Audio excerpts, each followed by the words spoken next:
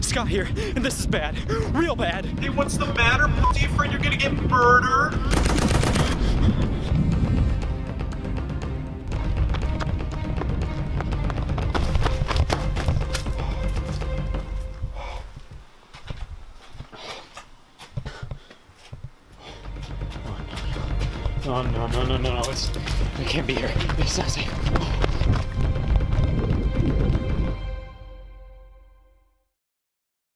Different now. See, it's really hard to do the whole living in peace thing these days. That's why I formed a team of ragtag good doers in this world of anarchy. I even came up with the team name, too. We're f***ed. It all started on March 26, 2018, when the Wii Shop channel disabled the addition of Wii Points. The entire shop's about to close down, and recently, the Publix went insane because of it. And being one of the few people with a Wii filled to the brim with WiiWare titles, I'm a bit of a hot ticket item these days, aka people want me dead. Things weren't like this a year ago. Man, it sure is great buying stuff on the Wii Shop channel. Hopefully the closure of the service doesn't lead to a post-apocalyptic hellscape.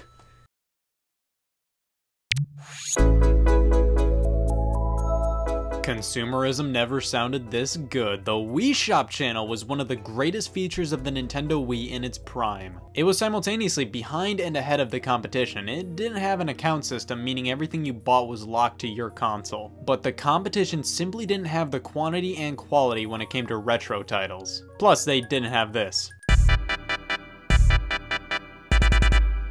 No matter how many times I booted up this channel, its music abruptly starting as loud as it does was definitely petrify-inducing, but the tune was so slick, it automatically makes anybody want to spend, spend, spend. Speaking of currency, the Wii Shop channel used Wii Points, also known as Virgin Doubloons. 100 Wii Points equaled 1 US dollar. For some reason, game consoles this generation really had a thing for real fake currency. At least Nintendo's conversion rate made sense. The Xbox 360 used to use Microsoft points, and 800 points equaled 10 bucks, and let me tell you, I'm still trying to figure that one out. Downloading something was always a hoot. Other systems just gave you a lame progress bar. The Wii says, who likes Mario or Luigi running across the screen? And hey, sometimes you can spit fireballs by pressing A. Such a Nintendo thing to do, to make a download screen fun. Three categories of downloadables here. Virtual Console, the shop's pride and joy. One of the best collections of retro games out there. Not only did you get NES, SNES, and N64 games, but Sega Master System and Genesis, TurboGrafx 16, Neo Geo, Commodore 64 arcade games. If you wanted a crash course in gaming history,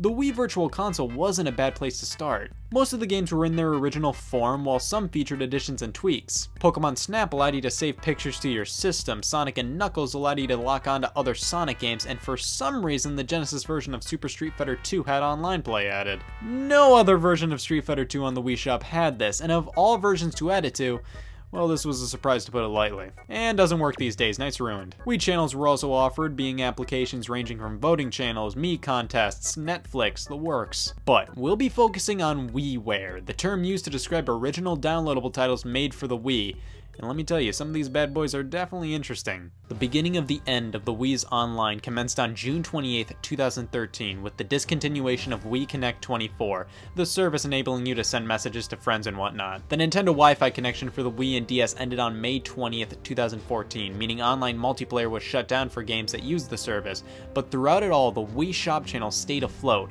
until March 26, 2018, when you can no longer add Wii points to your account. You can still buy stuff until January 30th, 2019, as long as you still have points, and you can still re-download titles, but after that, the service will be donezo. With that, I think it's a good time to start a journey. I have dozens upon dozens of WiiWare games downloaded, ready to go, so let's take a look at a hodgepodge of WiiWare games, starting with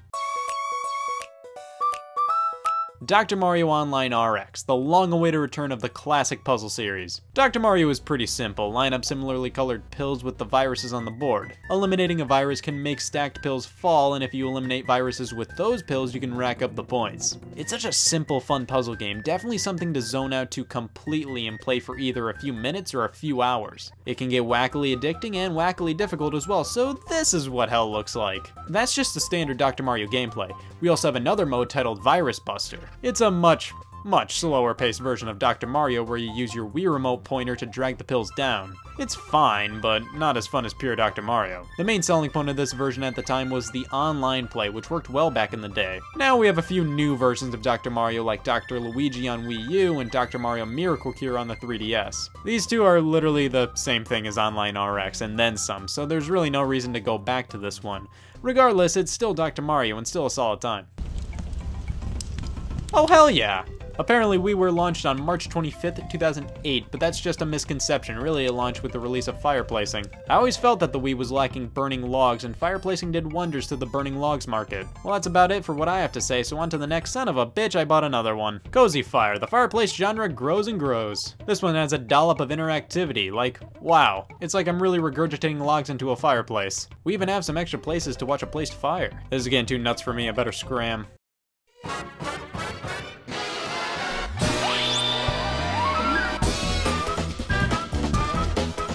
Grill Off with Ultra Hand. It was only a matter of time until a game with this title came out. Grill Off was only available via Club Nintendo, Nintendo's old loyalty rewards program. It was one of the cheapest rewards you could get, so if you never picked it up, congratulations, you don't understand the concept of good deal for a subpar game. It's based around the Ultra Hand, an old toy Nintendo used to make that was basically just a grabber device for kids, invented by the late great Gunpei Yokoi. Grill Off with Ultra Hand is a high score based game where you grill off with Ultra Hand. Pulling the Wii Remote and nunchuck towards you and back out extends Ultra Hand, you must grab meat when it's cooked to perfection and bring it back to a plate without dropping it or letting it burn. And that's it. It was a cute little reward for Club Nintendo members, but as a game on its own, the controls are kind of awkward and there's really not much there. While we're on the subject of Club Nintendo rewards, Doc Louis's Punch-Out! Definitely one of the coolest exclusive games you could get through the rewards program. Again, there's not much to it, it's beatable in less than 20 minutes, but this was a free reward for Platinum members, those who bought enough Nintendo products in 2009. It's a prequel to Punch-Out on Wii, where Little Mac trains with his coach Doc Louis. Like I said, there's not a ton here, basically it's just fighting Doc, and it's not even that difficult, Doc tells you exactly what you need to do to beat him. As a game, it's nothing special. As a Punch-Out fan, it's a really awesome little time. I love Doc, so it's great to be able to fight him, and even when you knock him out, you can feel the connection he and Little Mac have. Also, nice.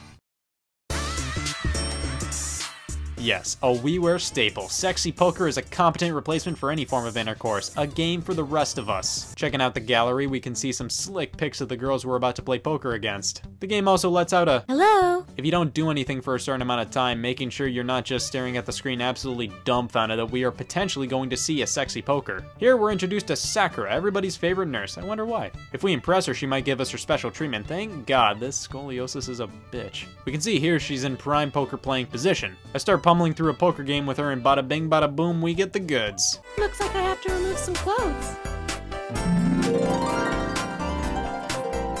Oh.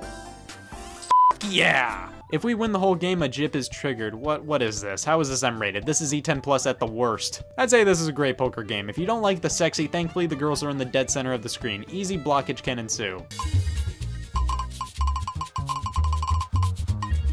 Five arcade gems, and ah, my two favorite things, arcs and AIDS. There's only one true thing about that title, and it's five. They call them arcade gems just to get away with the lame length, like there's nothing to these games. They're just high score based minigames. The only game that would even be close to being considered an arcade game would be this shooter, but even then, this one is just boring and lame. We have some grade A voice work employed in these games though.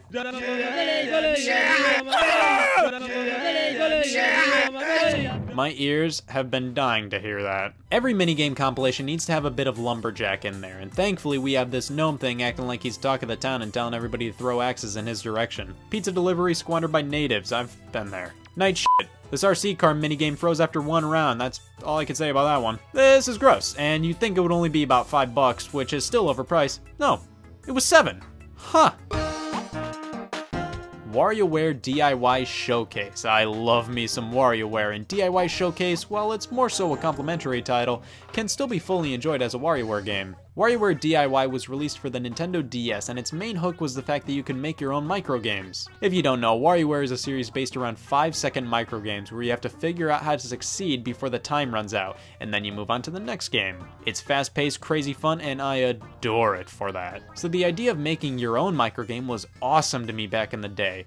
I can't really play it now because honestly it takes a while to relearn the game creation tools. It's nowhere near as simple as Super Mario Maker, but was simple enough for a 12 year old Scott to figure it out. You could also make your own music and comics, but I really only cared about the games. Showcase is a way for Wii owners to play their DIY creations on the big screen. Thankfully I transferred all my games from back in the day and wow, what a resume builder. After connecting online, you can play microgames from people all over the land, but Nintendo Wi-Fi connection is dead. Yikes. Nintendo included some of their own microgame creations here, so you can still play this as a standard WarioWare game. These microgames are much simpler than other titles in the series, and rightfully so, since they were all made with DIY's game creator. They were also made to be played with the DS touchscreen, so the only thing you're going to be doing here is pointing at the screen and clicking A. It's an incredibly simple, yet fun time, but it was much cooler back when it was relevant and when the Wi-Fi connection was alive and well. My Aquarium 2, a virtual aquarium in a single Nintendo Wii. 2010 was crazy. In terms of my own aquarium, I'm a single rock kind of guy personally. I do have to say, the default carnival music that plays here really makes me feel like I'm actually staring at a real life fish. It's insane. Shaking the Wii remote simulates tapping the glass, and rather than discouraging the player from doing that, the fish give a solid shake back. Thankfully, all is saved as we can share our aquarium to friends. Damn it! Excitebike World Rally, a triumphant revival of the Excitebike series developed by Monster Games who made Excite Truck and Excitebots. This is the first entry in the Excite series they developed that went back to the roots of the franchise and proves that Excite Bike can work really well in the modern era. If you played Excite Bike on the NES, World Rally is basically the same, but obviously with an upgrade to the graphics and sound department, more to do, and online play originally. You have to perform jumps, avoid other riders, make sure you don't overheat, and make it to the finish line all while making great time. It's a fun game, and while the production values on the game are far from high, it's passable, this is Excitebike, and it's a WiiWare game. You can edit tracks just like the first game, and holy cannoli, you can actually save them! I quite enjoy World Rally, and wouldn't mind seeing another Excitebike game like this. The moment everybody's been waiting for, my coverage of Let's Create Pottery, the only pottery-based game with an email inbox and an auction mechanic and a heartfelt message from the developers. For what it is, a pottery creation simulator, it does the job. You have loads of options to unlock and you can make a wide array of pottery. Here I made an ashtray, and here I made a Chinese finger trap. Enjoy your massage. Yep, you read that right. It's not a title, it's a command. As we can see here, I'm the protagonist, Nipple, and this game has already given me the heeb-jeebs. The selections won't stop growing, and Christ Jesus, the people won't stop growing either. As you could have easily predicted, Enjoy Your Massage is a hybrid between Simon and Tic-Tac-Toe. Repeat the beat on these markings, just begging for a WebMD search. Repeat it successfully enough times and bam, the client happily goes about their day via a static image that makes you triumphantly think, yup, I did that. Man, these clients. Nice back usage, guys. We have such a varied list of clients. For example, Ines has a backache and Alice's back hurts. After defeating any and all clients, you're tasked with the final boss, your boss, Gazelle. Your reward? You take over the business after only 45 minutes of playing. Well, that was a nice mishmash of WiiWare titles, but don't worry, we have loads more to cover soon, and doing so will allow the Wii Shop channel to end gracefully, everybody will cherish their memories, and people will move on. Man, what I would give to be March 2018 Scott again. But hey, who knows, maybe things have cleared up in the past 12 minutes.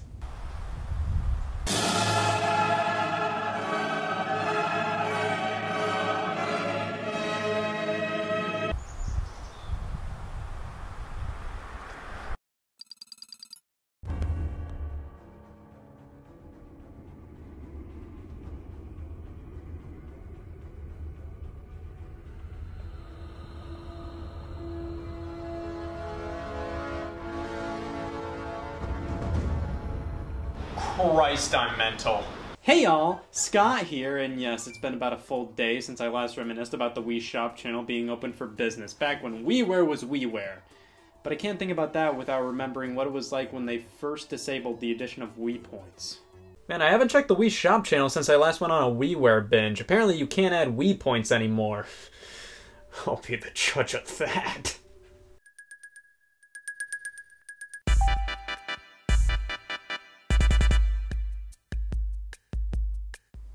Well, that hurt a lot more than I expected it to. One sec. Yep, expected to hear that. Anyways, let's take a look at some more WiiWare games in remembrance of what once was.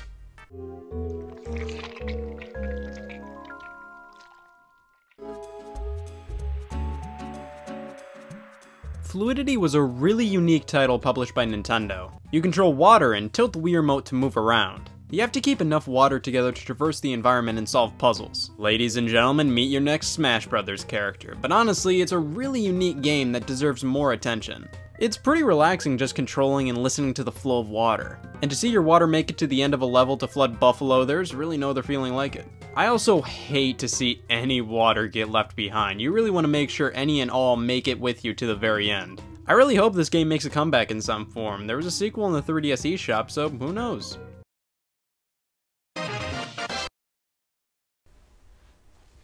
Muscle March. Oh man, why wasn't this cursor in Mario Galaxy? It was originally an arcade game that never released apparently, so Namco decided to barf it onto WiiWare. We get to pick our character, and this is just physically improbable. Talk about unrealistic expectations. I'm part of a band of greased up muscle freaks trying to regain their protein powder, and that's only the third time I've said that today. You have to pose with the Wii Remote and Nunchuck to make your way through obstacles. If the person you're chasing puts both their hands up and goes through a wall, well, you better put your hands up to ensure you will fit through that wall and surprisingly, the controls work alright. But after a solid 10 minutes of playing this, I think I've gotten my Muscle March fill. After loads of peer pressure, I finally played it, and I'm content leaving it at that.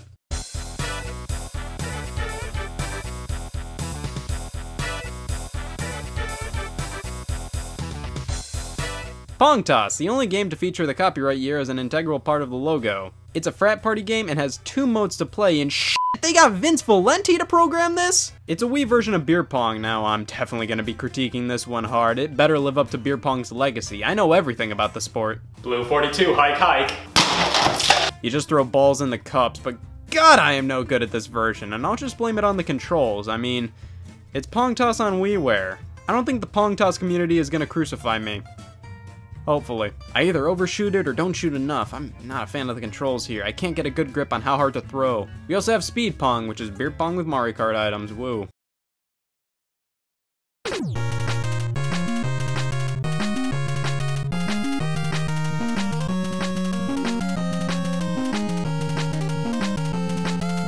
Retro reboots became a thing back in the WiiWare era, bringing back an old school franchise while purposely retaining old school elements. Headlining this trend was Mega Man 9.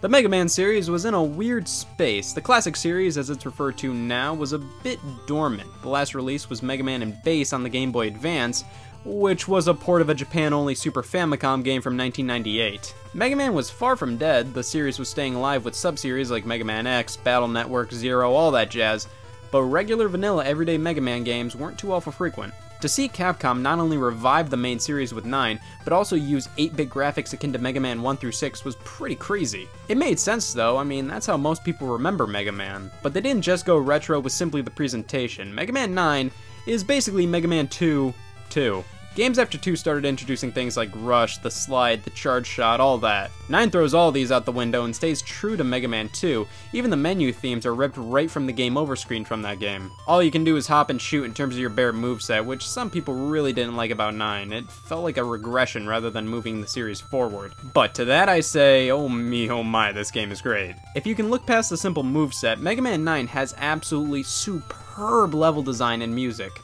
eight new Robot Masters to take on and powers to cop, with one being the first female Robot Master in the series. Ooh, la, la. It was primarily developed by Inti Creates, and these guys know how to make retro-style games. Like, look at this, this looks like it came straight out of an NES. They even included an option for sprite flickering, purposely throwing in imperfections into the game to keep it feeling old school. I don't know why, but I love that.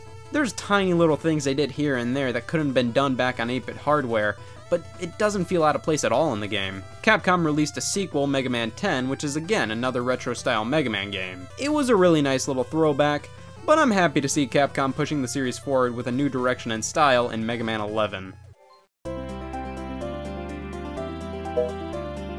My Little Baby, finally, a game with a fetus opener. The game shows off the stunning timeline of fetus to game in a matter of four photos. We get to pick everything about the dad and the mom with this baby. We're keeping things strictly European. Our nanny Pummel's in here to tell us to do things. Seriously, we hire the nanny, she's telling us how to take care of our baby. What a jip.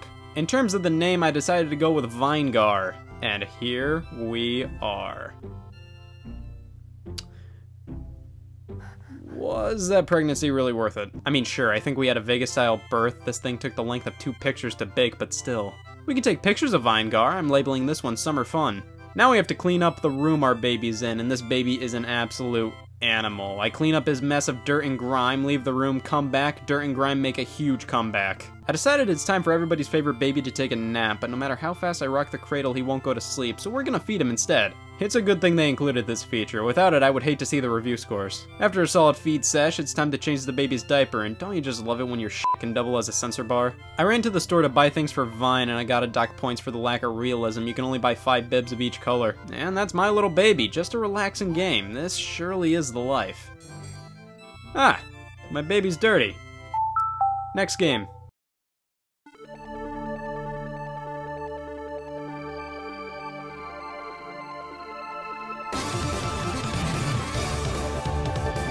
Star Soldier R, a triumphant return of the Star Soldier series. What? Yeah, I've never played a Star Soldier game before, and to be honest, I didn't even know this was a series. I thought this was just a retro-style WiiWare shooter. They were primarily on the TurboGrafx 16, so can you really blame me? Star Soldier R is an arcade shoot 'em up with three modes to dig right into 2 minute, 5 minute, and quick shot. Each is all about just getting the highest possible score that you can and each go through the exact same song and dance. Obviously, if you want to see everything the game has to offer, 5 minute is your go-to mode here. If you want to just jump in and blast through the main game to try and nab a high score, 2 minute mode is for you. And if you only have 10 seconds to spare and have an attention span that stopped paying attention when I start talking about fluidity, then quick shot. You can hold down the button to shoot repeatedly, or you can turn on the manual option, or as I like to call it, welcome to the hernia zone. I thought Star Soldier R was fun, but I'm basically done with it forever. I just don't really have a reason to go back to it, sadly. It just doesn't have enough meat on its bones. There's only so many times I can play through, say, 5 minute mode over and over again. Still a decent game, I'd like to see this one come back on modern platforms one day.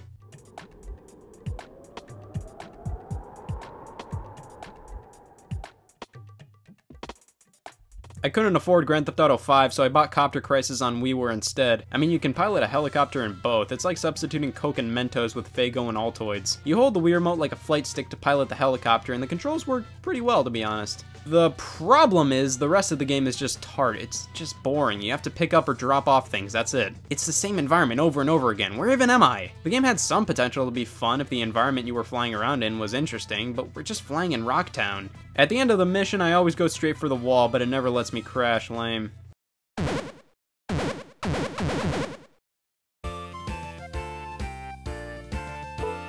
Aha! I got it! A game called Aha! I got it! The perfect name for a game. Your dad starts chatting up a storm with you and says you're growing up. I'm so proud. Proud of what? Mortality coming sooner? For your birthday, your dad locks you in a room and you have to find your way out, aka your dad is shit. Wait, why is the kid wishing himself good luck? It's a point and click game, find clues to help you escape. That's literally it, but at least they made it interesting by focusing on child abuse.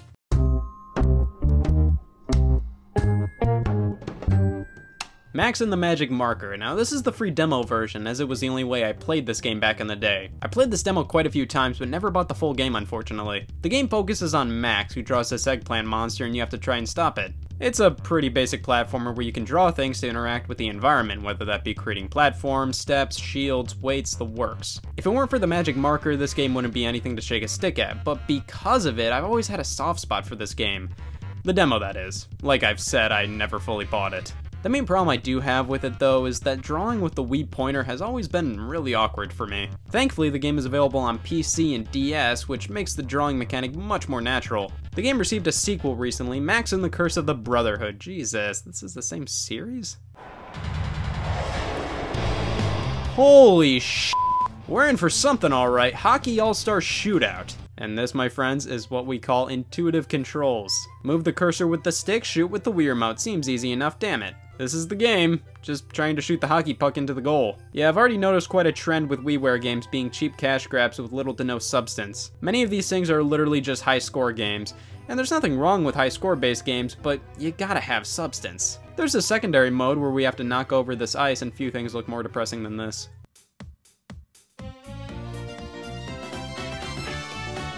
I mean, were you really expecting a downloadable Wii game service without Tetris? Tetris Party is a really decent version of the classic game. You have standard Tetris, kinda hard to mess that up, but we have this added benefit of our Mii cheering us on. Here I just have a default one in the background, but man, look at him go. We also have a ton of really cool modes which offer unique takes on the Tetris formula. Shadow has us filling in pictures with Tetris pieces, Field Climber has us building steps for a little guy to climb up to the very top, Stage Racer challenges you to fit your Tetris piece through a maze in the quickest amount of time possible, and the Wii Balance Board mode challenges us to maintain sanity. Overall, Tetris Party is a great version of the classic puzzle game. Sure, the presentation is a bit bland, but it's still quite a lot of fun. There was an expanded retail version released as well entitled Tetris Party Deluxe. Back when you had the choice between the two versions, Deluxe was two times the price at 30 bucks. The standard Tetris Party offered more than enough to satiate that Tetris craving we all have from time to time. It was definitely a must-have on WiiWare. Fast Draw Showdown. Somebody in the world's childhood is right in front of us, ladies and gentlemen. I didn't know this before downloading, but this was an old arcade game in the same vein as Mad Dog McCree. Live action footage that you shoot total guns at. The future is here and it is incredibly underwhelming. The game's displayed in iPhone portrait mode and we're greeted to Wes Flowers. My name's Wes Flowers. I'm one of the world's fastest quick draws. Damn! Since we're dealing with flicking the Wii remote up quickly to shoot, better put on the protective jacket. Yeah, I'm a bitch. We meet a lot of colorful characters we have to slaughter, like Crazy Curly. Put it back in the holster. God, who knew Wes Flowers was such a square? Alright, and we've seen the entirety of the game. It's just Quick Draw with Wes Flowers. It sells itself. Alright, and that should hold me over for a while, but we still have loads more WiiWare games to look at. Definitely a solid way to pass the time before the shop channel gracefully and peacefully comes to an end. Was I fing mad? Well, at least we're in the post-apocalypse now, and it can't get any worse than post-apocalyptic.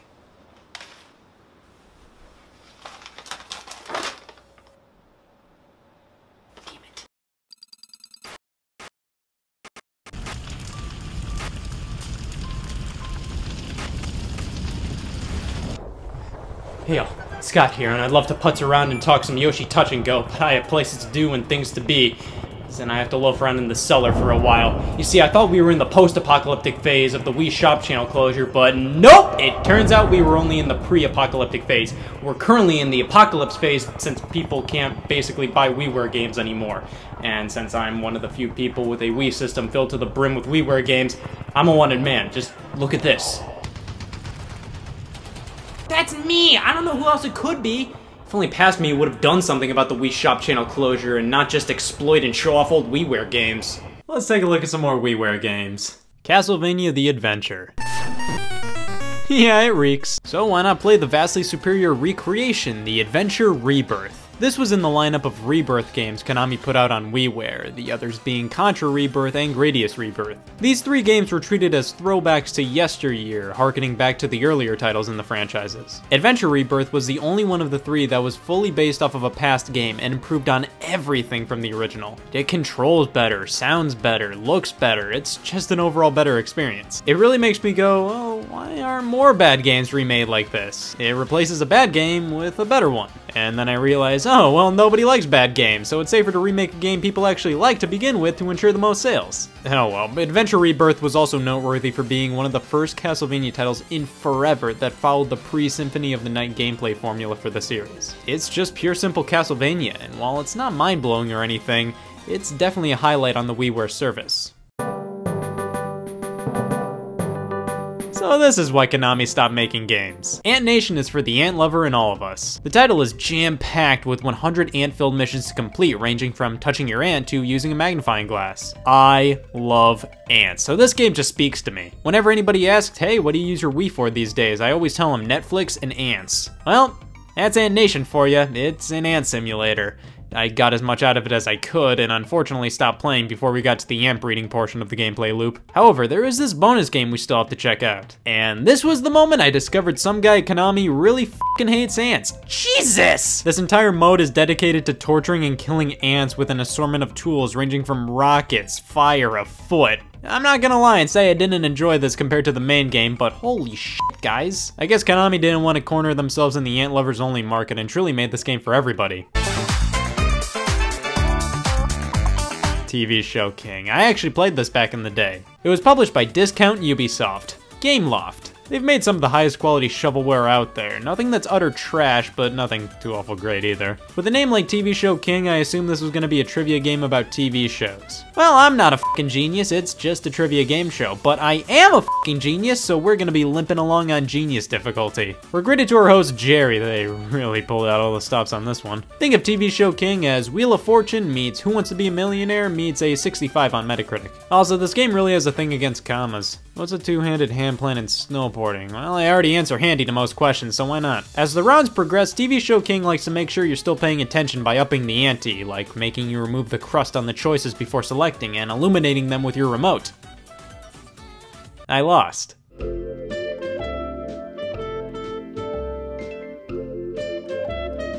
Flight Control was a mobile game from fourscore and seven years ago. Like, this sat there alongside the titans of the industry. Cut the Rope, Angry Birds, Coin Flip. This was a game that was consistently at the top of the App Store charts. You just had to guide airplanes and helicopters to safely land without crashing into one another. And if you said, man, but I want to play this with that Ant Nation controller, you're in luck because they released a WiiWare version. It's basically the same game, but you play with the Wii Remote pointer. It works well enough and is pretty decent by early iPhone game standards, but a Wii game though? I don't know, it's just not the most well-suited title for home consoles. You're only gonna play for 5 minutes at the most. Decent mobile game that works well on the Wii, but doesn't feel quite at home.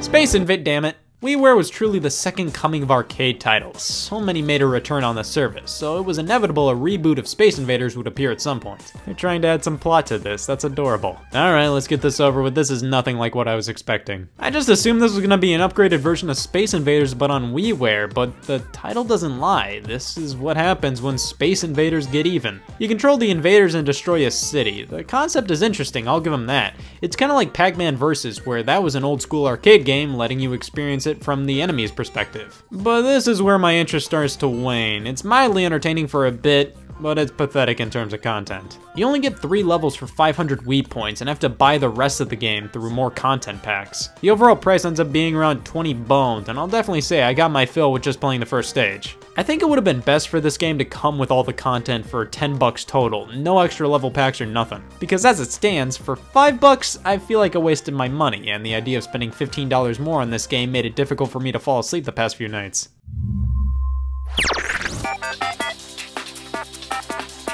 Bit Trip was a series of rhythm games released via WiiWare, all using Atari-style graphics with some modern-looking effects. I gotta say, with video games, especially indie ones, being obsessed with 8-bit graphics, seeing this style with such pizzazz is really something. I wish a few more games looked like this. There were tons of Bit Trip games released on WiiWare, the most popular which being Runner. You have to avoid obstacles and nab collectibles to the beat while running automatically. This is only the demo version though, I never played the Bit Trip games when they initially came out, but this is a pretty fun time. Thankfully, there exist multiple ways to play the Bit Trip series outside of WiiWare, including various physical releases, so definitely try this out if you get the chance. Runner also received some sequels, Runner 2 and Runner 3, and again, I haven't played these games, Man, the original Runner just looks so much better visually in my opinion. It just feels so much more unique.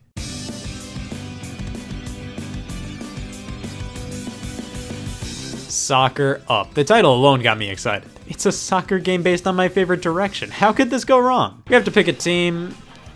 Well, North Korea sounds fun. And we're off, and Soccer Up is much more generic soccer game than I initially thought it would be. Remember Hockey All-Star Shootout from last time? I was expecting Soccer Up to be a garbage game like that, a mini game where you're shooting soccer balls into a goal or something. Nope, it's a completely different garbage game. It's just generic soccer.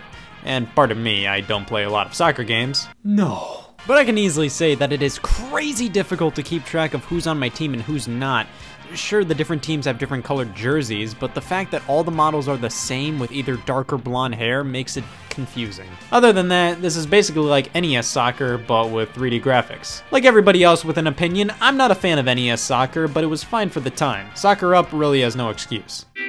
Mr. Driller, Mr. Driller W. Out of 26 letters, they chose that one. The series is a spin-off slash spiritual successor to Dig Dug and is more so puzzle-oriented. You have to drill through all these blocks while avoiding getting squished or running out of air. It's a fun time and can get wildly difficult. You have all these different characters to choose from, all with unique attributes, including the original star of Dig Dug himself. While it's a good version of the game, Mr. Driller W has very little differentiating itself from the various other titles in the series. That was a problem with a lot of WiiWare titles at the time. Many of them are simple high score based games with better versions available elsewhere. Speaking of which, Frogger is an absolute classic. Its gameplay still holds up to this very day. Konami really tried to make Frogger a bigger name in gaming as the years went on, but he's more or less faded into obscurity. But this is what happens when Frogger returns. Oh god, it's like he never left. Frogger Returns makes me wheeze. This is just Frogger again, but it looks like trash, the music is disgusting, and the camera angle makes it difficult to judge where you are in comparison to other things in the world. Look at these dogs. Stop. Rabbids Lab is why many people don't like the rabbits. It's a simple idea. A rabbit is inside your Wii remote, you can hit buttons and shake the thing to cause mayhem. You can then paint, customize, and perform a hate crime on them. That'll be 500 Wii points, please. This should just be a mode in a game.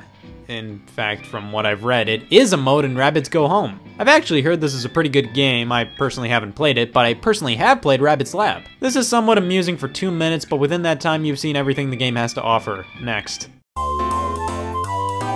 Happy Holidays Halloween. Before you say thank you, let me talk about this game. This is a Halloween e-card creator on your Wii. You can pop a very select amount of art on a card, maybe some text, a sound or two, blam, send it to your Wii friends. Hallmark must have pissed themselves when this thing was announced. Through Space is a Nintendo published game all about cramming Tetris wannabes into holes in the wall. Now I know what everybody is probably thinking. This is just a ripoff of Muscle March. Well, Through Space is really its own thing. It doesn't have whatever the hell this is, but it makes up for it by just being a simple addictive puzzle game. Personality-wise, it's got nothing, but it's fun enough, I guess. Now, of course, it had that classic Nintendo tax and cost $8. I don't know if it's worth that, just for comparison, that's how much most Super Nintendo and Genesis games cost on the Wii Shop. It's a solid little puzzle game, but nothing more than that really. Every downloadable game service needs a game based on Robin Hood, so it was a shame that WiiWare got stuck with this thing. I'd call it an on-rail shooter, but it's literally just a static image where you shoot people running around. Apparently Robin Hood is all about killing the rich and helping the poor, so it makes sense that your points get docked if you shoot an innocent person, but why do you get crazy high points for killing a bird? The game is just monotonous. Reloading your arrows takes no time at all, so there's really no challenge here. It's almost impossible to die. It's just a game of endurance. We also have this guy making an appearance every now and then. That's all I have to say on the topic of him. This is the story of a lonely boy who was given a dolphin by King Triton and then vowed to give all the sad children in the world Wii remotes and dolphins. This is the worst Christmas ever. And that's the story of My Dolphin, a game about petting your dolphin and having it do tricks for an audience. I guess you have to buy the extra dolphins in the game to find out whatever the hell happened to King Triton. I named him Puddles and he can do this. I think I finally found my dolphin game, everybody. We've really looked at a lot of WiiWare games, but the only thing that matters is that we finally looked at one that allowed us to make a card. I'm gonna send this to future Scott, maybe around January of 2019 or so. He'll really get a kick out of this. This does nothing for me. Well, with the Wii Shop channel closing on January 30th, I should really take time to appreciate what I have. Uh, a Wii filled with WiiWare games, and an open cellar door. Huh. Really makes it easy for anybody to come in and steal the, my net worth! Hey all, Scott here. I originally abandoned this place back when the whole Wii Shop channel closure pre-apocalypse thing started because I had a Wii full of WiiWare games and everybody wanted to kill me. But now since my Wii has gone missing, I can finally relax again considering the fact I was taken off of the FBI's most wanted and I'm now on the FBI's least wanted. That makes me feel like a fucking loser. I mean, it's whatever. I have nothing to worry about now. Plus, I still have the memories of playing all those WiiWare games. Uh, like that one time I played a bunch of them like a month before this whole thing happened. Oh god, that was when I played Family Go-Kart Racing. Oh, well this looks playable. No? Family Go-Kart Racing is the family-friendly alternative to Mario Kart. You ever play Mario Kart Wii and say, man, these characters are cool and all, but where's dad? Yep, the whole family's here and they're ready to star in. Family Go-Kart Racing is garbage. Yeah, I said it. Steering in this game is a nightmare. The motion controls don't work. Either you don't turn hard enough or you turn harder than hard, and no matter what, you end up mourning the loss of a family member. Technically, there's 12 tracks in the game, but really there's 4 track themes with 3 variants separated by difficulty. Doesn't matter in the end because each track is damn impossible. Jesus! If only this game was good and sold more, maybe then my dad would make it into Smash Brothers. Outside of Pokemon Fruit Snacks, I haven't really delved into the Pokemon franchise all too much, so why not make my second experience in the series be Pokemon Rumble? The demo version, that is. This, alongside My Pokemon Ranch, were the only two Pokemon titles released on WiiWare. My Pokemon Ranch was the leading cause of disgusting logo syndrome, and one of those simulation titles that WiiWare was flooded with. You know, you sit there, can slightly interact with the animals, maybe move around, that's about it. Pokemon Rumble is a different story though, it's all about mashing that 2 button and not much else. You control toy versions of Pokemon, which really means here's a canonical reason as to why these models look so bad. You just keep moving forward, pummel other Pokemon, face a boss, pummel them, move on to the next area, and then duke it out in the Battle Royale. I mean, this is just a demo, but from what I've played, Pokemon Rumble is just too simplistic and repetitive for my liking. They made four of them. I never downloaded this initially mainly because do I look like a Pokemon Rumble downloader to you? I also never downloaded my Pokemon Ranch. I mean, I already had enough WiiWare simulation games. Speaking of which... Yeah, I'm a zoo guy now. My zoo is all about complete freedom. It's your zoo, do whatever you want, including having only three exhibits with three of one animal type in each. We have it all. We're really hitting it out of the park with all the bear fans out there. We got this elephant frying in the kids' room, and of course you can't forget the zebras. You can name your animals, that's my zoo for you. A big part of the game is breeding your animals, but all that gets you is another animal. I can add three bears to the bear exhibit right off the bat. Why would I want to worry about child bears? My zoo is a little too just watching 3D models of animals walk aroundy for me to really get into it. But hey, if you want to name a zebra Fallout 76, my zoo fully supports that feature. Bubble Bobble is an undisputed classic from the arcades, NES, Game Boy, Master System, Commodore 64. Shove your hand between the couch cushions, you'll find a different version of Bubble Bobble. Why not add to the list with a remake of the original on WiiWare, Bubble Bobble Plus, now with brand new visuals, oh god. Bubble Bobble Plus is an enhanced remake in the sense that it's fundamentally Bubble Bobble Plus. It has everything the original had, plus more content. 4-player multiplayer, even two level packs you could buy. Sure, the graphics are kinda fucking disgusting. It just looks so cheap. I'd really prefer if they just went with sprite art or a 2D hand-drawn look. Disregarding that, this is just straight up Bubble Bobble. The NES version was on the Wii Shop channel for 500 Wii points, with Plus going for only 600. That's only a dollar extra for quite a bit more content added. It's nothing groundbreaking, but Bubble Bobble Plus is just more Bubble Bobble, and that's alright in my book.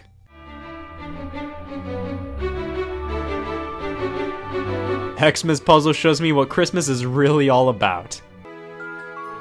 Oh yeah, that happened. I find it cheap how they show you a blurry version of the full image behind everything, that just makes things too easy. In the end though, Xmas Puzzle delivers the religion puzzle based goods and then some. Not only do you get Xmas Puzzle, but more Xmas Puzzle. Somebody grab a plural form. And Yet It Moves was one of the most unique releases on WiiWare. It started life out on PC and eventually made its way onto the platform and oh, oh it's so good. A simple platformer where you have to rotate the world around you to progress, and it really makes you rethink everything about the world you're in. What can be a viable platform to use, how to use the terrain to your advantage, everything. You gotta be careful though, because you do die if you fall from a great enough height. Now this is just the demo, I missed out on the game initially, but I always heard great things about it. The thing that mega blows though is that the WiiWare version was the only console port of the game ever released. It's only available on computers, and it made its way to iOS under the name Yet It Moves, but I believe it's no longer available. Come on, guys, get this baby on modern platforms. Snowpack Park, made by the fine people at Skip, who made this, which led to this. This is a- oh Jesus, again? This is another simulation game for WiiWare, just like My Pokemon Ranch, and My Zoo, and My Aquarium, and My Little Baby, and Ant Nation, and My Dolphin. Only now I truly realized how many of these games flooded WiiWare, and they all share a common problem. There's nothing to them. Most of these games are basically just watching an animal do something and you can interact with it in like two ways that don't matter at all. Like, oh, you can pet the animal and you can clean up after them and that's it. Now to be fair here, Snowpack Park is much more gamey than a lot of the other simulation games but it isn't all too remarkable. You raise penguins, you fish for food, you find more penguins, you raise penguins, you fish for food. Now the bulk of the entertainment value you can derive from these games really depends on how much you're willing to let your imagination go wild with these things and make up a lot of the fun yourself. It should also be noted that I can tell these games are supposed to be bite-sized experiences, played for like 5 minutes a day. You download them so they're always on your system, so after you're finished playing another game, hey, why not check in on the penguins? The problem to me is that all these sim games I've looked at just don't have enough to them. They give you like two things to truly mess around with, and that's it. I need more customization, I need more things to do to get me involved, and these games just don't do that. There you go, let that be a lesson to all you WiiWare developers out there. Paint splash for everybody who wants to draw but doesn't have paper. Nothing makes me feel like I'm dying more than trying to draw perfectly with a Wii remote. We have all these- Alright, either somebody's smoking gasoline cigarettes or people are retaliating, and for good reason. In a few short weeks, you aren't going to be able to download Paint Splash anymore. F saying that hurt! Time to get diagnosed with dart rage. They got Vince Valenti to program this? From the minds behind Pong Toss Pro comes Dart Rage. It's like beer pong minus beer pong, now with darts. Now this is more like it. This must have been the Pong Toss Pro developers' true passion project. That doesn't mean it's absolutely fantastic. It's not bad, but it's not great either. It's just right. Art of Balance was always one of WiiWare's heavy hitters. I didn't personally play it when it was relevant, but it was always a title brought up when talking about WiiWare. In short, it's a physics puzzler all about stacking shapes so they don't topple over after a short period of time. It's simple, it's easy to understand, and it's really quite a blast. Art of Balance was developed by Shin'en Multimedia, an indie team from Germany responsible for the fast racing games. So the same people who made this, made this. That fucking terrifies me. Remember TV show King? Were you dying to see how the story concluded? TV show King 2 is basically the developers of TV show King saying, wait a sec, we can do better. It's fundamentally an expanded version of the first game, with even more options like having a cactus for a podium and being able to create your own questions and submit them online for Gameloft to review and possibly give to other players. I wish you could just make your own questions and use them in local play though, I, I would love that. Online has been added, but the tried and true TV show King formula is still here. If there's anybody who screams the author of Marley me, it's Walter Cronkite. War. It's cool, right? Well, Water Warfare gives us all the joy of war, plus aquatics as well. So oh, this is cute. It's a first-person shooter for the rest of us. And by God, it's hard to land a hit on opponents. However, it does function well and stands out from the rest of the crowd on WiiWare. We really never saw a lot of full-on first-person shooters there. So hey, if you don't want your kids to play Doom, hand them Water Warfare. They'll fucking hate you, but you'll actually be parenting. And the WiiWare service has been validated. Lead the Meerkats is a son of a bitch! Yes, the return of the WiiWare sim game with like three options to mess with and nothing more. What color do I like? Oh, fuck. You know all those times you've gone to the zoo, looked at the meerkats and went, if only. Lead the Meerkats proves we all weren't missing out on much. The Meerkat simulation genre needs a killer app, and this isn't it. After the family go-kart racing scandal, I really didn't want to stir up even more controversy, but I have to say this. Too Fast 4 Gnomes fucking reeks. It's in the auto-running gnome genre, and it's definitely one of the best auto-running gnome games I've played in recent memory, but it's completely ruined by this. How are you supposed to differentiate what's part of the background and what's an obstacle? I'm just a gnome. You expect me to understand the difference between background art and obstacles when there's next to nothing that tells you which is one and which is the other? Well, that was a solid slate of WiiWare games. Uh, let's see how many I didn't care about. Damn it. That's not a great sign because we're really scraping the bottom of the barrel of WiiWare games to look at. Uh, But it's fine because I forgot what I was gonna say there. It was stupid. Nothing is fine. The world is going to end. Wii Shop Channel's demise is inevitable. But at least I don't have to worry about getting brutally killed since I don't have my Wii anymore. I can't live without Leave the Meerkats, I gotta get it back! Hey all, Scott here. I have a Wii loaded with WiiWare games! I have a Wii loaded with WiiWare games! I have a Wii loaded with WiiWare games! You have osteoporosis. I have a Wii loaded with WiiWare games. Four out of five ain't bad. But I have a Wii loaded with WiiWare games! The Wii Shop channel is gonna close for good on January 30th, 2019, and I think it's safe to say I'm set for life here. Considering people don't go ballistic and come after me because I have a Wii loaded with WiiWare games. Hey all, Scott here, and this is bad. Real bad. Huh. Really makes it easy for anybody to come in and steal the, my net worth! But at least I don't have to worry about getting brutally killed since I don't have my Wii anymore. I can't live without the Meerkats, I gotta get it back!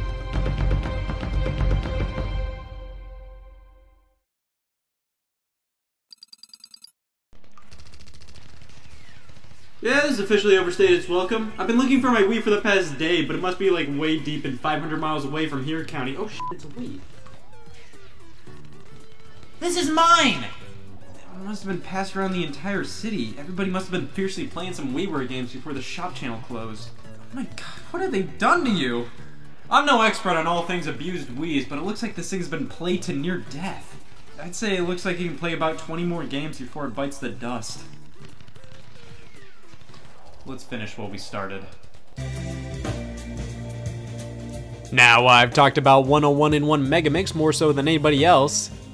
I've talked about it once, so why not desperately hold on to my record by talking about it again? 101 in 1 Megamix blows. This was one of the games I talked about when rifling through the worst games of all time according to our friendly neighborhood Metacritic, and yes, you've heard it here twice folks, this game is dreadful. This is a port of a DS game and you use the pointer of the Wii remote to do your average everyday Nintendo DS stylus things. Yeah, that doesn't work well with an IR pointer. What's easy with a stylus pen does not equal easy with a Wii remote. On top of that, the minigames themselves, it could be better. It all culminates into this heaping pile of megabytes that is by far the lowest rated WiiWare game of all time. This is something I'll be telling my grandchildren about. Frobot was a key example of an Afro robot based puzzle game. You control Frobot walking from room to room and effectively solving puzzles only a Frobot could solve. For some reason this reminds me of late 90s budget puzzle games for the PC. Oh, it's on the PC. And don't worry, Europe. It's coming. The moment I saw this thing, I knew what was bound to come. Major League Eating the game is everything the Wii bargain bin at Walmart was, but this time in downloadable form. First things first, this game has controls. We use them to play this game and playing results in a win or a loss. Using the controller is the real deal with this game, and the graphics are really something on the screen. Ears? This game uses them by emitting sound, and don't get me started on having a title. This game does that and it does it well. It's Major League Eating the game, those five words do it more justice than I ever could.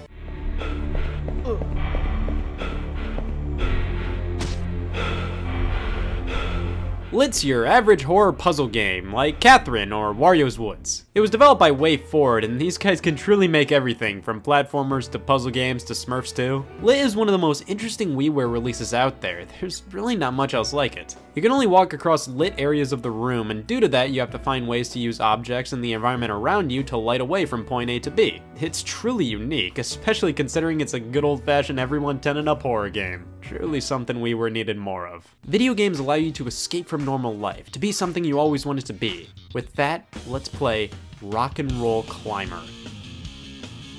Finally. This is the last Nintendo published WiiWare game I have, and what a way to stumble out.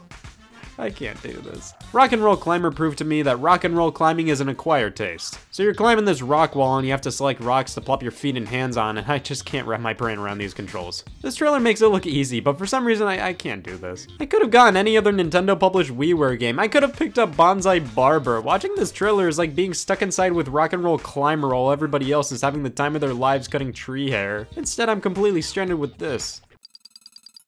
One day into staying inside a cave and only playing WiiWare games and I'm feeling great. I packed some milk to help sustain myself so I can really take on anything. F this sentence. Now this is every retro enthusiast's worst nightmare. Oh yeah, pixels! Oh f 3D racing! 3D pixel racing is fucking terrifying. Why do I have to change gears? Why is MPH and RPM on the screen? It's 3D pixel racing. Why is this a driving simulator? Also, I had no fucking clue what this game's name was for the first 10 seconds of the title screen. Oh.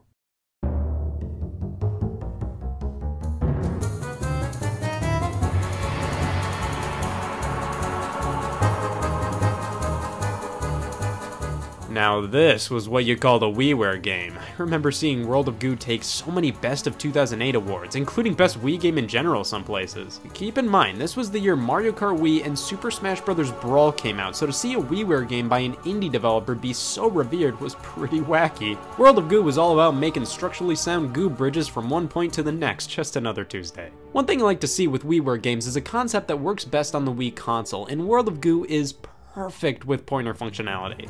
At least in terms of on-home consoles. It is available on PC and mobile devices with mouse and touchscreen controls. 2D Boy and the Tomorrow Corporation are best known for World of Goo, but their other titles maintain the same cutesy but dark morbid art style. While I played their game Little Inferno more, I still can't deny the great game World of Goo really is. When I dog on a WiiWare game, it's because games like World of Goo really show just how quality a WiiWare game could be. Fast Racing League, Shin'en Multimedia spanking Nintendo for the lack of F-Zero. This was the first in the Fast series, I'm sure most people know of it for Fast Racing Neo on the Wii U and Fast RMX on the Switch. Fast Racing League is fundamentally these games with WiiWare diagnosed presentation. Of course, graphically it isn't as nice as Neo and RMX, and definitely not as fast. However, this is still a prime example of a WiiWare game done right. I'm not a fan of motion controls for such fast-paced games like this, but everything still works well enough. If you liked Fast Racing Neo and Fast RMX, this is basically the same game, but older. So you should still definitely pick it up to see where it all started. Holy shit, how did I forget this is happening?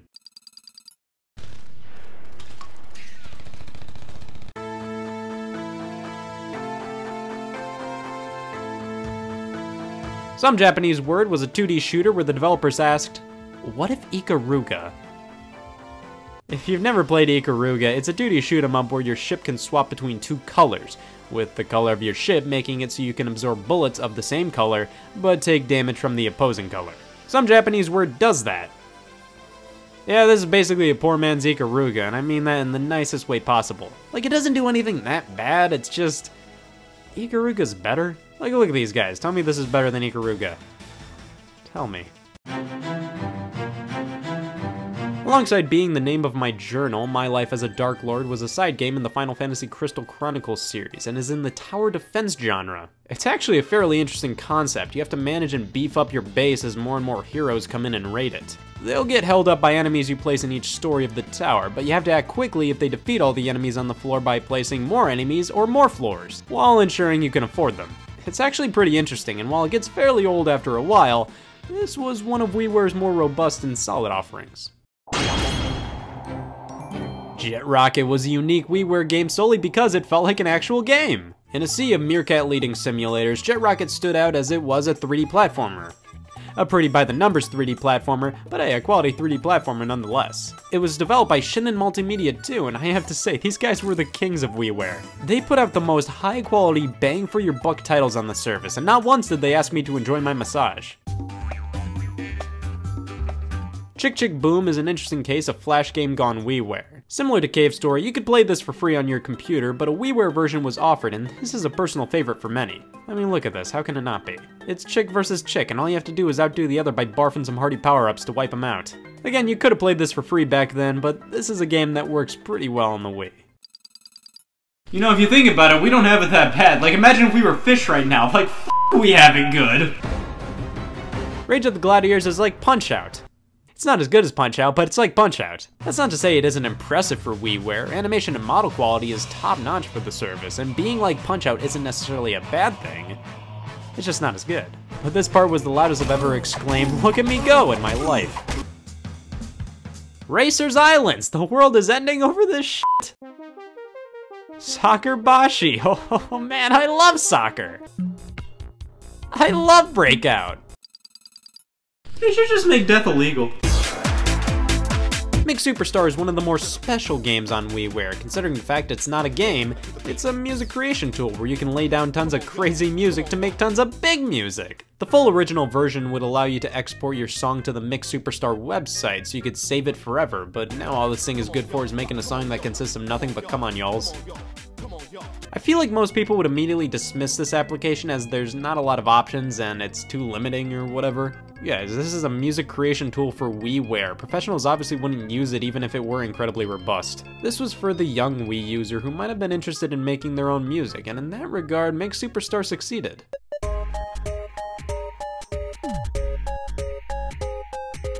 Now, Cave Story was always one of the biggest stars of the WiiWare service. It was one of the first indie games to truly hit it big. It originally released as a free PC title and gained so much traction that Nicalis released an enhanced version on WiiWare. Now, does this excuse the fact that this was a $12 version of a free game? Well, that's debatable. It's not like the content offered doesn't hold $12 worth of value, plus the novelty of officially playing the game on a Nintendo console helped, but it did sting just a little bit knowing really anybody could play it for free which is why I never bought it for $12 on WiiWare, I bought it for $30 on Nintendo Switch fucking end the channel already!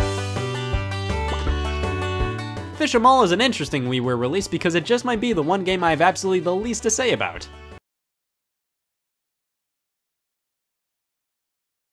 What do you want me to say here? MotoHeroz is one of those physics-based 2D racing games. Uh, you know, kind of like Trials, this was made by the same developer. Uh, well, MotoHeroz involves everything I love about budget downloadable games from this era. Just quick, bite-sized, addictive arcade fun. I miss this kind of stuff. Nowadays, digital-only titles kind of feel like they're either 20 bucks and pretty high quality, or 2 bucks and what's the point? Well, we're 10 seconds away from the Wii Shop channel ending. If there's anything I've learned over the past 312 days, Bike Rally was pretty good.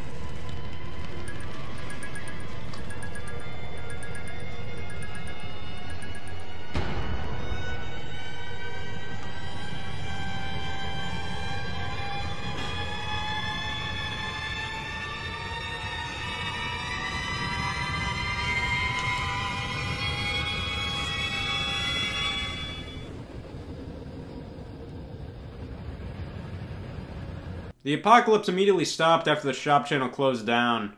I think everybody realized who the hell wanted to play Rabbids Lab again. But that doesn't make the channel's closure any less depressing. The Wii Shop channel was always this magical place to go when you had nothing else to play or just got a Wii Points card burning a hole in your pocket. It wasn't a perfect shopping experience. The purchases were tied to your console, and these seeing eye tests of screenshots didn't help things. But all negatives aside, this was how I could experience gaming history with the Virtual Console, how I could defy the odds of quality control and take a risk with a WiiWare game, or just piss around with a random free Wii channel. This wasn't just a storefront with the sole purpose of showing games that are available to buy. This was the Nintendo way to do a digital shop. It's hard to believe that it's gone. I use this service all the time and it never once crossed my mind that it would be ending someday. It just goes to show how fragile digital content really is. Sure, a lot of the best WiiWare games are available elsewhere, some sometimes in physical forms, but what about the ones that will never be released outside of WiiWare? As somebody who adores everything about video game preservation, it kinda hurts to know that there will never be an official way to play a lot of these games moving forward. I mean, thankfully all WiiWare games have been backed up online, but in terms of official releases, this was it. You can't play them anymore without Nintendo giving you the stink eye. But honestly, after playing nearly a third of the entire North American WiiWare library, most of these titles are better left as the games that time forgot. The fact that I can't officially play Sexy Poker anymore kind of adds to its legacy, it makes the game more interesting. But for the original WiiWare games that are legitimately good and deserve to be played for generations, the Wii Shop channel's closure is truly unfortunate. WiiWare will always be remembered as a mixed bag. We got some great titles on the service, I never even covered. Retro City Rampage, LostWinds, the Strong Bad games by Telltale, the Art Style series. There was truly a metric ton on WiiWare. But considering the quality of most of the games on the service, and the fact that many of the best games are available elsewhere, have physical copies, or have been succeeded by new games that do fundamentally everything the WiiWare version did and then some, I have one final question. Was the Wii Shop channel closing worth going through this whole apocalypse? No. Hey y'all, Scott here. I've been working on my impression of Nintendo DSiWare. Watch, why the f was I born? Buying the Nintendo DSi was my first instance of being an idiot. Oh, made it that far. Let's be fair, if Nintendo offered you a new design of something you already had with superfluous additions and crippling feature removals for nearly $200, you have to take advantage of that opportunity. This is the last time they'll do it this week. I'm not made of stone. Released on November 1st, 2008 in Japan and April 5th, 2009 over here in North America, the DSi was the third version of the Nintendo DS, a handheld that was already everybody's favorite bundle of atoms. The DS and DS Lite took the world by storm, all while being severely impaired. You can't tell me to reset the system after changing the clock and expect me to think everything's okay. Hell, you couldn't even remove a game card from the DS on the menu screen without it freezing. What's the point of having a menu screen then? I think Nintendo developed the system by candlelight. It was completely fair to expect an upgrade. I mean, you look at what the PSP was doing with its user interface and compare that to how the DS didn't even like you going into system settings. Like, I didn't even change anything. So in October of 2008, Nintendo announced that upgrade, the Nintendo DSi, hell-bent on being an actual system. The future was here and it was $169.99. Yes, alright, let's get this over with. Scott was nearly 12 when he got his DSi at launch, that's why we shouldn't trust him. This was the first system I went out of my way to purchase by myself. I scrounged up the money and traded in my Nintendo DS Lite to help pay for it.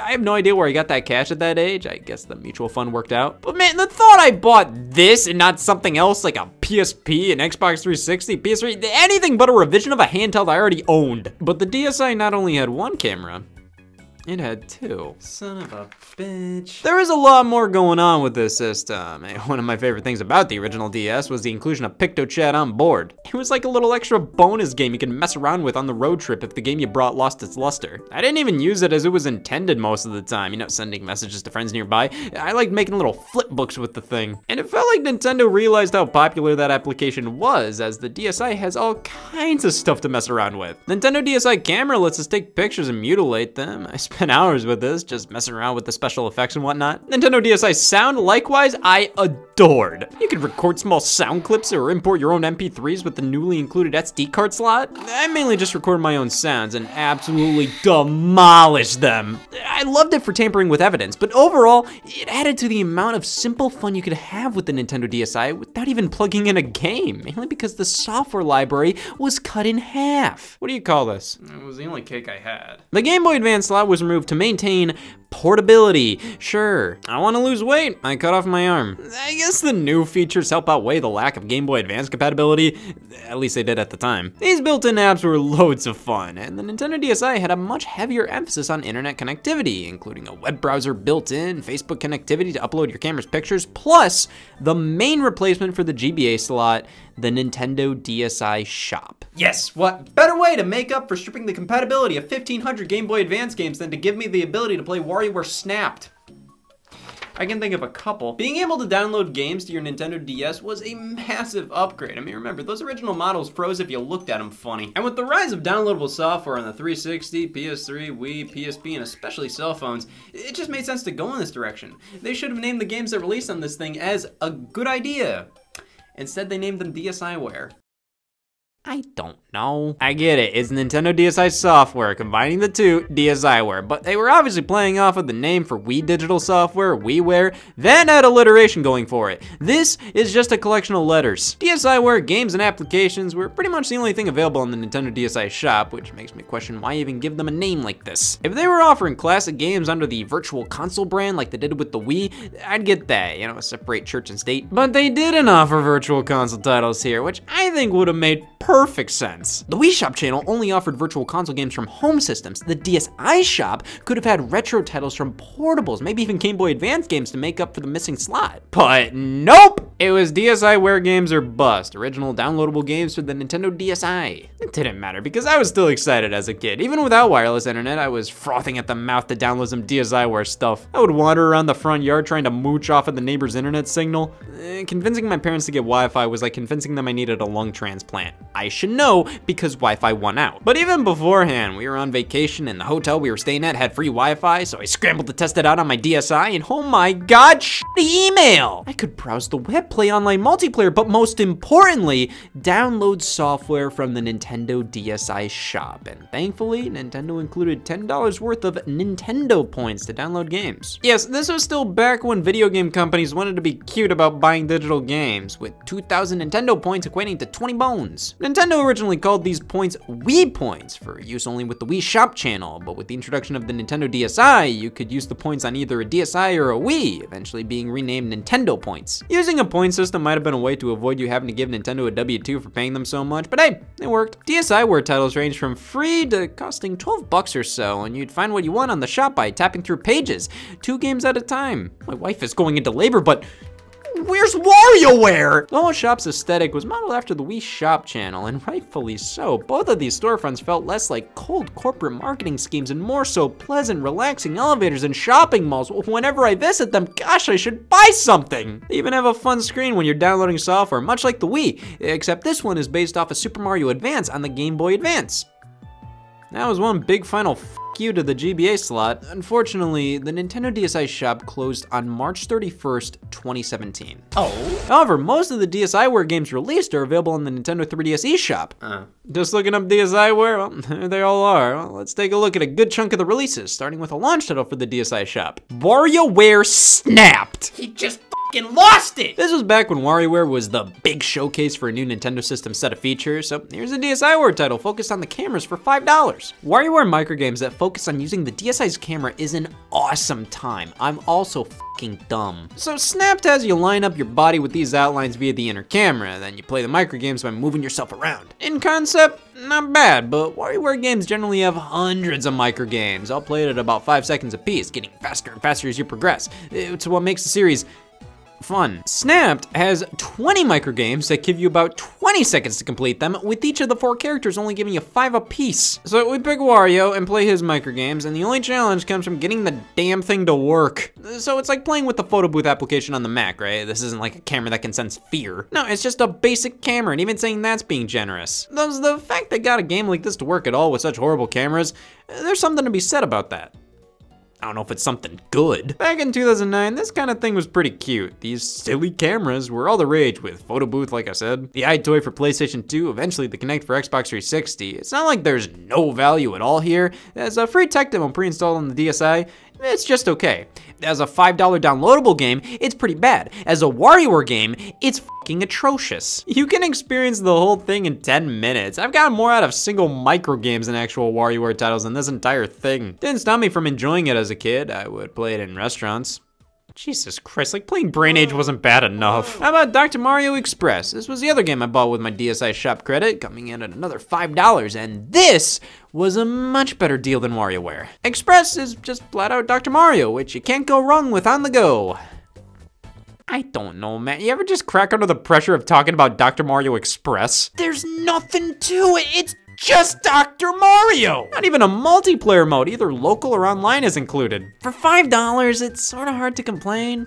But I'm gonna try. It's a bit too obvious how little content is in many DSiWare games. I get they're incredibly cheap and supposed to be small and tiny to fit on your system digitally, but still, like, come on, you couldn't have included more in WarioWare Snapped? At least Dr. Mario Express has a good reason to exist. Pop your DSi out, play around with Dr. Mario, throw it back in your pocket. But this entire game is just a downgrade of Dr. Mario Online RX on WiiWare. That game was $10. Why does this one have to be so stripped down? The WiiWare game didn't do anything the DS couldn't do. However, we gotta look at that their subtitle. Express was a term used by Nintendo a lot on DSiWare. Many other games used it to denote this is a smaller version of a game that already exists elsewhere. So Dr. Mario Express was a stripped down version of Dr. Mario Online RX. Brain Age Express, Arts and Letters, Math, and Sudoku were repackaged piecemeal variants of both Brain Age and Brain Age 2. See, in PAL territories, these types of games were called a little bit of, and that's a bit more blunt as what these are. In fact, Nintendo has a pop-up warning when you buy them on the eShop asking, you sure about this? Brain Age Express makes total sense as a DSI DSiWare game though. This is the kind of thing you want on your system at a moment's notice. And it's not like this is just a repackaged version of Brain Age 1 and 2. It has some new puzzles and is mostly just a repackaged version of Brain Age 1 and 2. I can't stress how much I love to get ripped off. Eh, these versions were 8 bucks a pop, and each honestly gave you more than enough content for that price. When they were just ripping content from previously released games, that's when you got decent titles on DSiWare. Clubhouse Games Express, a series of certain games from the original DS title. Master of Illusion Express was the same thing. Puzzle League Express was just plain Puzzle League with less features and modes. Uh, same goes for True Swing Golf Express being a stripped down version of True Swing Golf, which I didn't even know was a Nintendo published DS game. Oh, what they don't teach you in school. Then Nintendo took the DS game Electroplankton and divided it up into 10 separate DSiWare games for two bucks a pop. I'm starting to get annoyed at this strategy. Like, did Nintendo actually make anything for this? Well, that's where Mario vs. Donkey Kong Minis March again walks in. Get out. Let's just download it and oh my god! This is the image most see before death. This is a successor to Mario vs. Donkey Kong 2, March of the Minis, and the predecessor to Mario vs. Donkey Kong Miniland Mayhem, which was followed up by Mario and Donkey Kong Minis on the Move. Give up on the subtitles. You're just mixing words around. It's impossible to remember which one is which. The next one they're probably gonna call Mario vs. Donkey Kong Move Minis Move. This game is quite derivative of Mario vs. Donkey Kong 2 is a Mario vs. Donkey Kong game after all. Is there any fan of this series that goes, no, I like that one. They're all the same, but I guess Minis March again is an improvement over March of the Minis. I mean, for starters, it's 8 bucks and gives you a comparable amount of content to the physical DS game. Completely original new level designs with some new small tweaks to the flow of the gameplay. Once you tap the mini Marios, they move indefinitely, which makes things more interesting. You have to get them all to the goal while collecting everything while in its predecessor, you could stop them and move directions. This is just more compelling. Plus you have the level editor, which is basically ripped right out of the last game, but it did give this game an endless amount of content to play through user-created stages. For $8, this was a pretty good deal. It was better than Mario vs. Donkey Kong 2. Well, I think it flat out replaced it. I think everybody can agree this was the definitive Mario DSiWare game depending on your stance with Mario Clock. For $2, Nintendo was offering a clock application in case this clock wasn't enough. Yes, this was considered an application, not a game, as some DSiWare titles were just that. This is a tool. You can set an alarm. Mario Clock has to be open for it to go off, dear Christ, but you can set an alarm. It's okay. Why would you close it anyways? Couldn't they have included a world clock showing the times from different areas of the world? Like that calendar even, please, God, I've never wanted to see a calendar more in my life. It's frustrating because the sister application, Mario Calculator, which released the same day for the same price, has so much more to it. You can convert units, calculate fun things. Why is this so much more worthy of the $2? Well, why aren't they just a part of the same application? The 8-bit Super Mario Bros. aesthetic is fun, but doesn't amount to anything more than just funny sounds and being able to control some movement. At least you have a bit of interactivity because lo and behold, Animal Crossing Clock. Who the hell do you think you are? It's just a static picture and this was $2 as well. It's the exact same as Mario Clock, but with an Animal Crossing skin, and the same can be said about Animal Crossing Calculator, but these both aren't nearly as compelling as the Mario variants.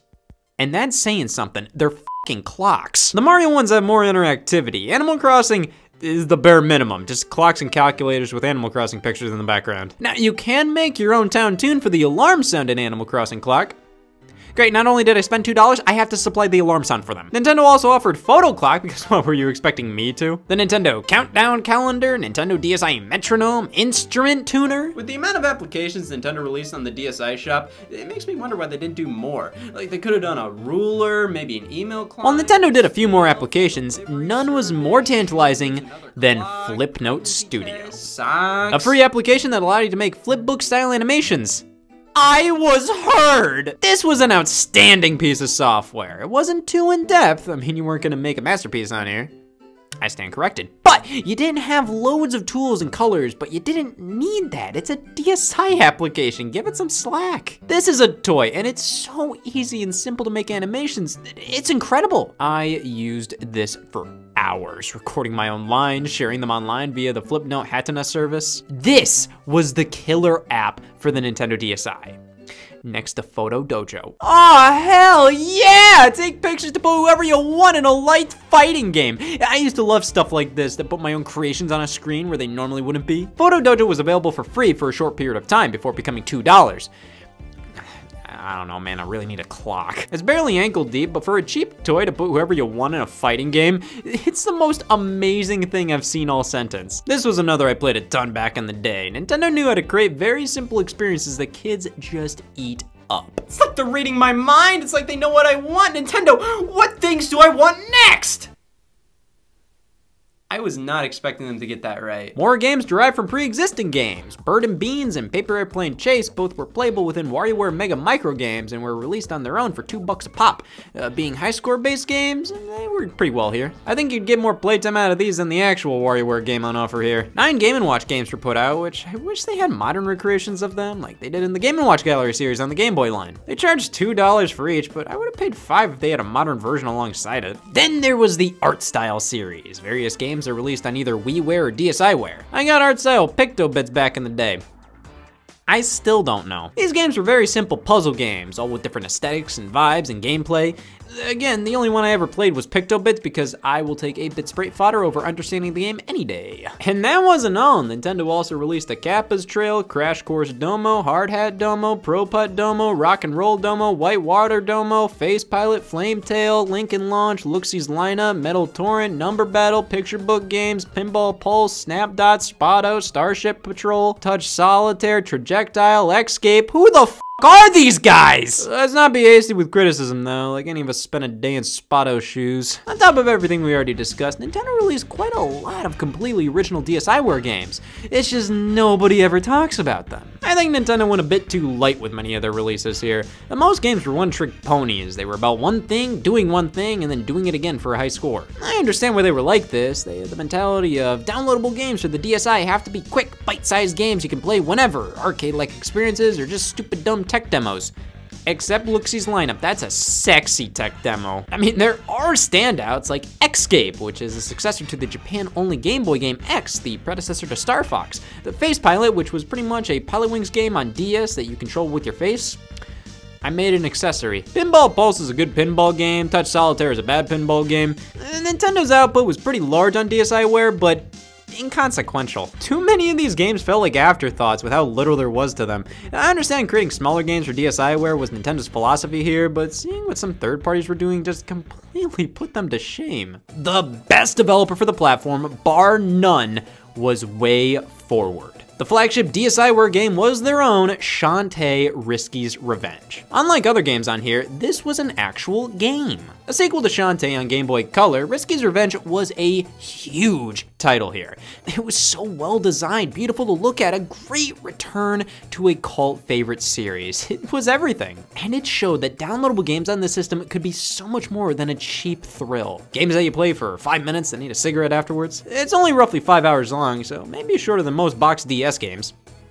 Do you ever play Pokemon Dash? WayForward also released Mighty Flip Champs. Keep thinking that says chimps. Followed up by Mighty Milky Way, two really solid puzzle games, which eventually led to Mighty Switch Force. It's unfortunate these games don't get as much recognition as Switch Force 1 and 2, but it just shows how forgotten many DSi releases were. Like, you know, SteamWorld Dig and Heist and Dig 2 and Quest, a pretty popular indie series. The first game was SteamWorld Tower Defense on DSiWare. SteamWorld Tower Defense. I was the first person to say that this week. Cave Story was on there. That was the indie darling of the seventh generation of game systems. Uh, just cool to get games like that on the go. Uh, DSiWare wasn't a huge breeding ground for indies like future Nintendo platforms were, but at the very least, it laid the foundation. It gave various developers another avenue to publish their smaller titles. But there were some big names on here, like Need for Speed Nitro X, uh, stripped down version of a retail game. God damn it. I was gonna say, this is of an impressive quality for DSiWare, and now it's obvious why. It wasn't for DSiWare. Tetris Party Live, the same thing. Combat of Giants Dragons Bronze Edition, oh, great subtitle. Phantasy Star Zero Mini, Plants vs. Zombies, Bookworm, Zuma's Revenge, Bejeweled Twist, these were all games that just cut content from retail releases to sell them for cheaper on DSiWare, and I don't know how to feel about this. Which I need to figure out, what if somebody comes up and asks me on the street? On one hand, hey, it gave more players an opportunity to play certain games. Uh, Maybe you just wanted to play the main mode in Plants vs. Zombies rather than all the extra junk. But these games flooded the shop. The fact they had to put disclaimers before you buy to tell you, hey, this ain't anything new. I mean, the whole thing made DSiWare feel like it was full of game demos you had to pay for. If they wanted to put a little effort into games, why not release classics through a virtual console? It makes no sense. Well, some publishers went ahead and put out their classic games anyways. The original Rayman, Earthworm Jim, Dragon's Lair, Dragon's Lair 2, and Space Ace, a version of the Oregon Trail based on the current iPhone app at the time, were all here and accounted for. I like these ports because they give me a glimpse as to what could have almost been. Game Boy games downloadable on the DSi. Hell, throw Game Gear, Neo Geo Pocket, Atari Lynx games in there. Uh, Don't tell me the DSi couldn't run them. We're talking Game Boy games, not I don't know, prehistoric man or anything. Oh, you son of a bitch! I would have loved to see more classic content on the shop rather than cut down versions of pre-existing DS software. It's just, what would you rather want? Phantasy Star Zero Mini, a stripped version of an RPG? I don't even know how you do that. Or Dirty Larry. Gosh, that's tough. Let's be fair, there were original games made by big name studios. We got Dragon Quest Wars, which was a Dragon Quest Tactics spin-off developed by Intelligent Systems, the Fire Emblem devs. Uh, When a downloadable DSi game is in 3D, my jaw drops. Dark Void Zero is one of the more infamous games released by Capcom in tandem with Dark Void on Xbox 360 and PlayStation 3. This was mockingly set up as a Lost NES prequel to that game, and I think it ended up overshadowing it in many ways. Bomberman Blitz, I will describe like I do most Bomberman games, it's a Bomberman game. Frogger Returns. All right, all right, all right. I've come across this game numerous times on the Wii Shop channel on the PlayStation 3, and then they made a DSi version? Why is it Frogger Returns? When did he leave? This version is very comparable to the consoles. It doesn't have the piss ugly title screen though. So I don't know if it's worse or not. Outside of those, DSiWare didn't get too awful much. It just got awful much. Shovelware, baby! Look at this. The house game, 40 in 1 explosive mega mix, 1950s lawnmower kids. My Asian Farm, I Spot Japan, Box Busher. Ah! Spot the difference? DSiWare was full of garbage. Doesn't mean the stuff from actual publishers is much better. The more I dive into DSiWare, the more its existence perplexes me. Like, nobody did anything with it. Nintendo decided to finally care about the service in 2011 by releasing The Legend of Zelda 4 Swords Anniversary Edition after the 3DS came out and it was only available for a limited time for free. Technically, WarioWare Touch was released as a DSi DSiWare title, only in the 3DS eShop, only through the My Nintendo loyalty program. I only mentioned that so I met my WarioWare touched quota for the day. And the final DSi DSiWare release was in 2016, Crazy Train. There are some gems on there, but most of the time it was either shovelware or just repackaging games that were already on the DS. Like, why? I'll tell you why, because they're only human. If I ever squirt out Need for Speed Nitro, you bet I'm going in for seconds. It ain't Easter. Oh, that's what the word October 31st meant?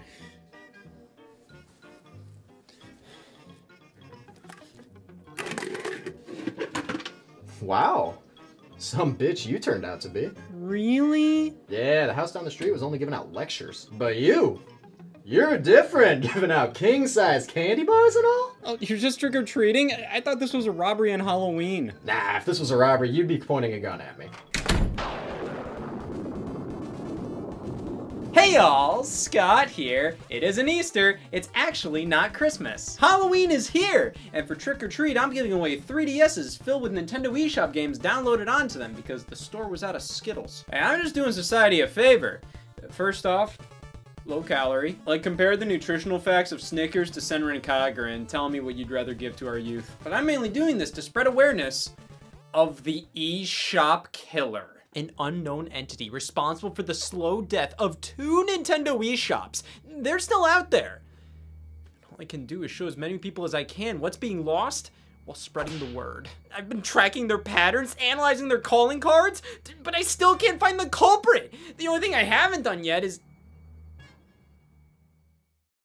is waste my time. While I wait for more trick-or-treaters, let's take a look back at the entire life of the Nintendo eShop on both the Wii U and 3DS and analyze them to find out as much about the eShop killer as possible. But with it being Halloween, hopefully nothing scary happens.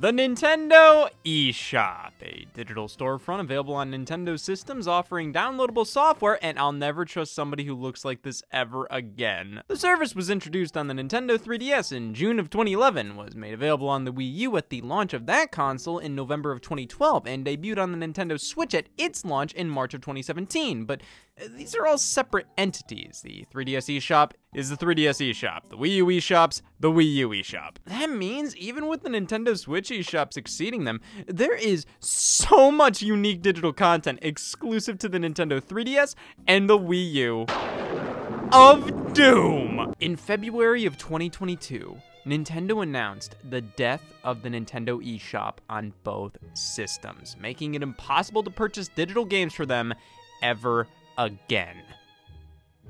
Oh, I pissed myself this morning. I'm good. Pretty wild Nintendo decided to terminate these eShops after the whole fiasco with the Wii Shop channel closure. After the 7th US state was bombed, I thought they would have had a change of heart. Well, my neighborhood did put up a sign. But who's to say that won't eventually happen? I have to prepare for the worst case scenario. I'll use the Nintendo eShop on Halloween just in case I use the Nintendo eShop on Halloween.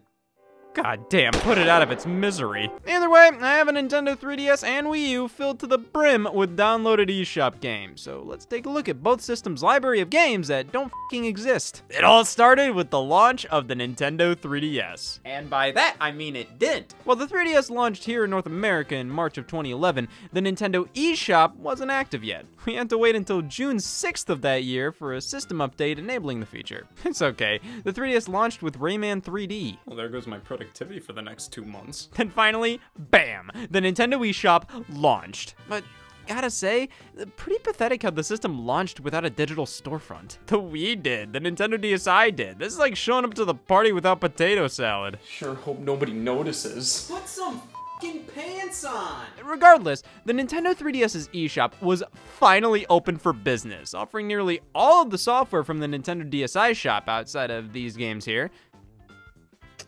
Damn it! Classic titles from previous systems, a part of the Virtual Console branding, specifically Game Boy and Game Boy Color games, downloadable trailers for upcoming 3DS releases, and of course, original software and applications made specifically for the system. There are pretty much only two 3DS games on the eShop at launch. One wasn't a 3DS game, the other wasn't a 3DS game. Those being 3D Classics Excitebike and Pokedex 3D. Now, these were both free, at least for a limited time. Excitebike was sort of a peace offering to 3DS users for patiently not touching their handheld since launch. Pokedex was more so a 3D model viewer for the Pokemon from Pokemon Black and White. This is 100% just a polished tech demo to fiddle around with and nothing more, but I will say, the graphics did impress me back in the day, at least compared to previous Nintendo handhelds. Is that a whole ass circle? 3D Classics Excitebike was the main course here, and it's the classic NES title remade for stereoscopic 3D. But they went even further than that, uh, putting it in widescreen, revamping the track editor, all while retaining the same look and feel of the 8-bit original.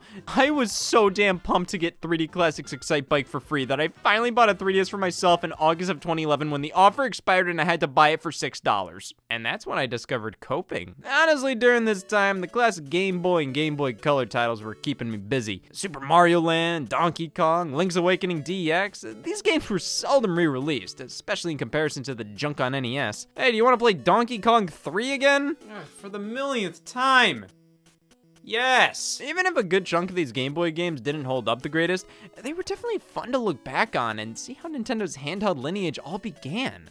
Or there just wasn't anything to do with the system in 2011, because I'm gonna talk about trailers now. Something I remember doing a lot was downloading game trailers off of the eShop. This was cool because you could view them in 3D, getting a better idea as to how the game would look on the 3DS's display. But I always liked keeping these on my system, mainly because a lot of these used working titles and prototype logos, so it's kind of a cool digital keepsake from the build up to launch for these titles. Like when Mario Tennis Open was just called Mario Tennis. Got simpler times. Now the police report's longer. And that was pretty much it for the Nintendo eShop on 3DS at launch. The most exciting thing, honestly, was getting all the DSi Shop content, the Game Boy games, and of course, the presentation. You ever go to a store and feel guilty for not buying anything? I feel like that every time I enter the 3DS eShop. I mean, the music that plays isn't in your face like the Wii or DSi shop. Rather, it's so soothing and comfy, all while that damn shopping bag has organs. No other storefronts kept me this calm during that situation. I always liked how during the download screen you could twist and turn the icon in 3D, how upgraded the entire visual experience was from Nintendo's previous digital stores. I mean, they have whole ass banners, categories, we're no longer using fake currency, which is definite growth. Sir, I'll give you seven wee cladoodles for that. Nah, now we use real world money and get taxed real world dollars because we're real world citizens now. This was the moment Nintendo fans were finally tried as adults. But that was pretty much it for the eShop at launch, and frankly, almost the entirety of 2011. The only things that ever seemed to pop up here were Game Boy Virtual Console titles. Now, I'm not really one to complain. I think I react in the exact way Nintendo wants their fans to with these games. But it was just odd considering the Nintendo DSi shop had the exact opposite issue. I thought it was weird how they had no legacy virtual console software on there,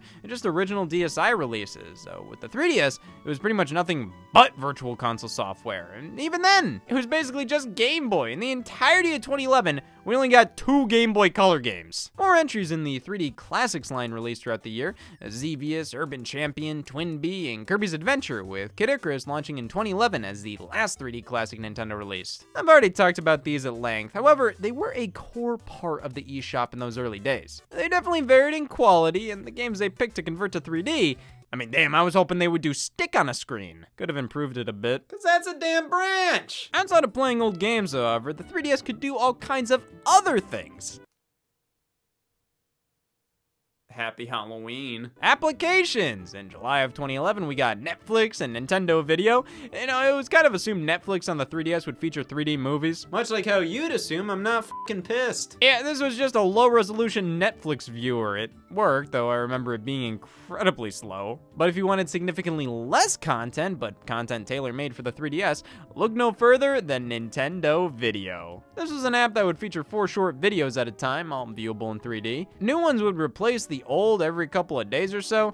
Uh, they weren't archived. You couldn't save them. You couldn't go back and watch old videos. You'd open up the app, could watch the four videos on hand, and the next day you'd check it out. One of those videos or all of them could be gone and replaced by something completely different. The videos could have been animations, comedy skits, music videos, movie trailers, promotions for upcoming games, whatever the Nintendo interns felt that morning. A Happy Feet 2 trailer? It was either that or my friend's dance recital. The fact there were only four videos available at a time, I can see how that made it a bit more interesting, but that pretty much meant there was no reason to stay in this app for more than five minutes. Hey, I know my flaws. This format couldn't have been sustainable, so the app was discontinued in 2015, with Nintendo opting to just release 3D videos via the Nintendo eShop. Now, many would say they went above and beyond with effort and put a vast majority of the app's previous content on there. I'm not one of those many. Nintendo Zone, another free app from 2011 I downloaded and rarely used ever at all. I was busy. Basically would allow you to go to certain stores and download specific content, like trailers and items in games like Animal Crossing. Never did that. Pretty much only opened this app at home to pass time by thinking, why did I open this app at home? But then there was SwapNote, released for free in December of 2011. This was created as a follow-up to PictoChat from the Nintendo DS.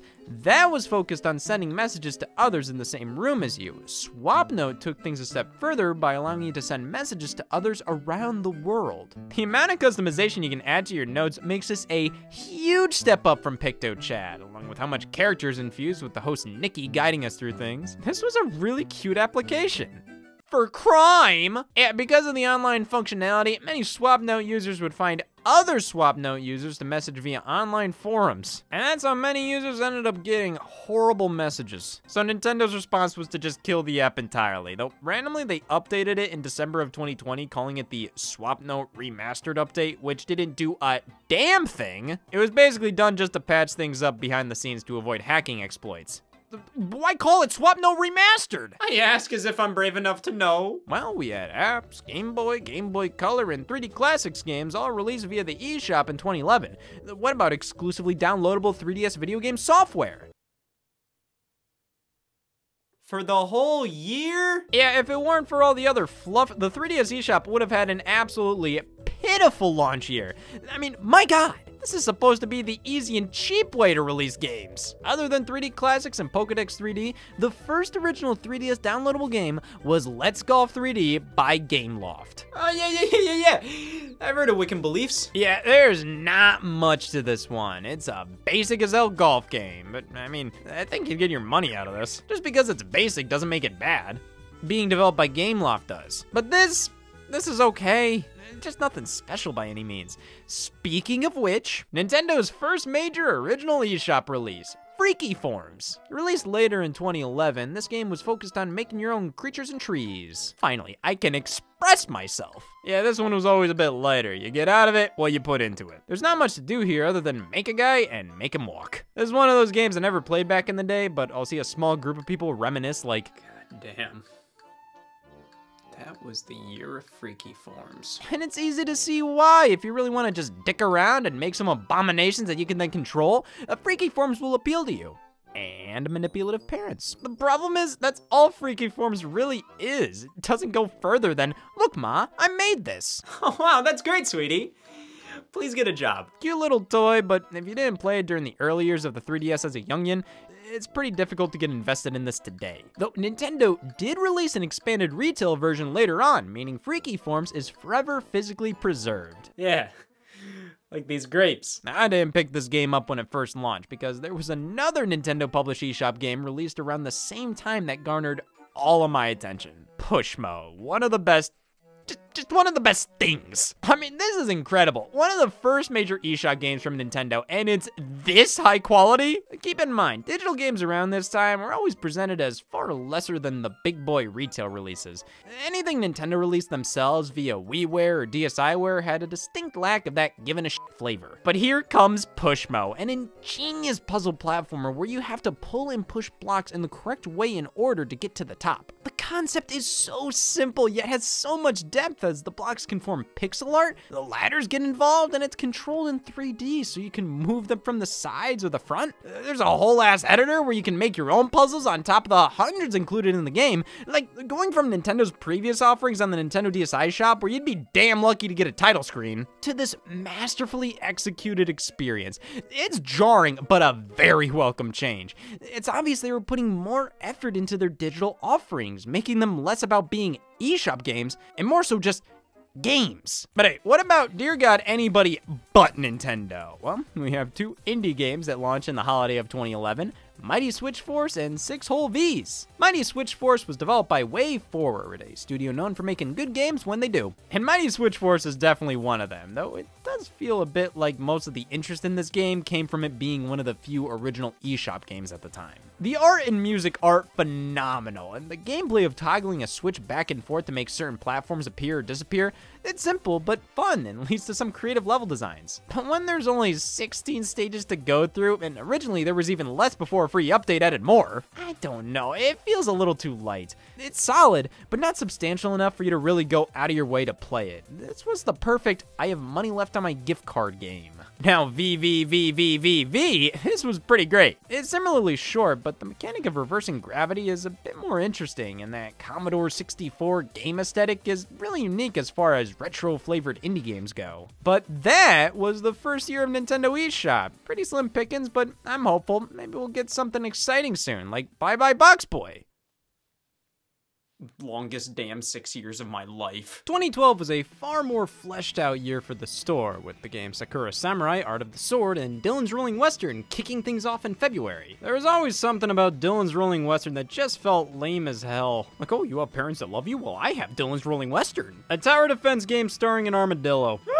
It is Halloween. This one is actually pretty clever with its gameplay. I do like how it takes a genre primarily known for a top-down view and turns it into a heavily character-based third-person action game. You run around the area before sunset to gather resources and prepare for enemies to show up. It's solid, albeit can get monotonous at times. But this was a fine little eShop title, a fun, one and done. They got three damn entries. He even appears in Smash Brothers as an assist trophy. Like, what did you do to earn this? I am so sorry. You know, after thinking about it, a lot of the 3DS eShop games are like this. Games with a solid base, but don't go too far with it, and they can end up feeling a bit repetitive, which is sort of my feelings on Sakura Samurai. It has tons of style and personality. The gameplay is about samurai combat, dodging and striking at the right time, but that's kind of it. It's not bad at all. In 2012, this was a must-have on the eShop, but it felt more like a must-have because what else were you playing at the time? Good little game by Nintendo that got really damn high review scores, like Ketzal's Corridors. This is just damn hole in the wall. Move the shape to fit in the hole. What? Like, Jesus, guys. I mean, I, I like the smaller Nintendo games as much as the guy right next to me. Don't look too deep into that. Why were we acting like these games were saying something profound? Now, Ketzal's Corridors is actually the sequel to Through Space on WiiWare, which we got a similar situation with Fluidity Spin Cycle. Fluidity on WiiWare was all about controlling water. Yep, video games are the best. Fluidity Spin Cycle takes that concept and gives it more character. Meet Eddie. He's a water. You tilt your system back and forth to control where the giant puddle goes, and in some stages, you have to move the entire handheld upside down. Yeah, kinda cool idea, but in practice, who the hell wants to do this? I'd say the best Nintendo published eShop game in 2012 was from the same series as last year's. We got a follow up to Pushmo in the form of Crashmo, the Mo series. This looks very similar, but plays a whole lot different. Uh, Basically, now blocks fall when there's nothing underneath to support them, and just that one change is enough to make me feel like an idiot. This is way harder now. It's still really damn good, but I wouldn't recommend this to somebody if they haven't already played Pushmo. Now, that wasn't it for Nintendo's eShop releases in 2012. Did we really forget Sparkle Snapshots 3D? Not yet. So this was a photo editing app Nintendo put out where you can make your pictures look like a website from the 90s. A lot of this is just something I can already sort of do in the stock 3DS camera app, so like, why would I spend $6 on this? Well, it seems that all the value is spunk-based. I mean, if you really dive in, I'm sure you'd find a photo editor with more in-depth tools, but the furthest I made it was less rock sticker deep. They upgraded the Pokedex 3D application to 3D Pro, containing far more Pokemon, pretty much all of them up to that point. It's a great resource for numbers. You even get a little Pokemon quiz you can take along with AR functionality. This is an awesome free update. Hell, I pay a dollar for it. 15 times in a row. Yeah, $15 for this is a lot, especially when you could grab two or three of the other eShop games I just mentioned for that price. And this isn't even a game, it's a resource on the way to fictional dragons. Like, $14? Maybe. This released in the fall, alongside Pokemon Black 2 and White 2 releasing on the Nintendo DS. Pokemon Black and White already released like the same month the 3DS did. It just felt like Pokemon was avoiding the 3DS at all costs. Yeah. To make up for Black 2 and White 2 only being DS games, they launched Pokemon Dream Radar for 3 bucks. You could capture Pokemon with your 3DS camera and transfer them to Black and White 2. Oh man, apology accepted. See, the Pokemon Company is just like me. They're trying to find an excuse to justify this thing. Now, a big Nintendo eShop moment in 2012 was the introduction of full-fledged downloadable retail games, starting with New Super Mario Bros. 2 being offered day and date in stores and on the eShop. Standard practice now, sure, but this was completely new territory for Nintendo at the time. Everybody forgive it up for the 45 year old man with nothing wrong with him getting out of the chair he's been sitting in for his entire life just because he felt like it. A good handful of indie titles filled up the rest of the year, with Mutant Mudds headlining it. Now, this was the 3DS eShop game, one of the first I think of right alongside Pushmo. A 2D platformer where you go between the background and foreground, a concept originating from Virtual Boy Wario Land of all things. Perfectly executed with the 3D display here. The gameplay is so damn simple. You just slowly walk, jump, shoot your weapon, hover in the air for a few seconds.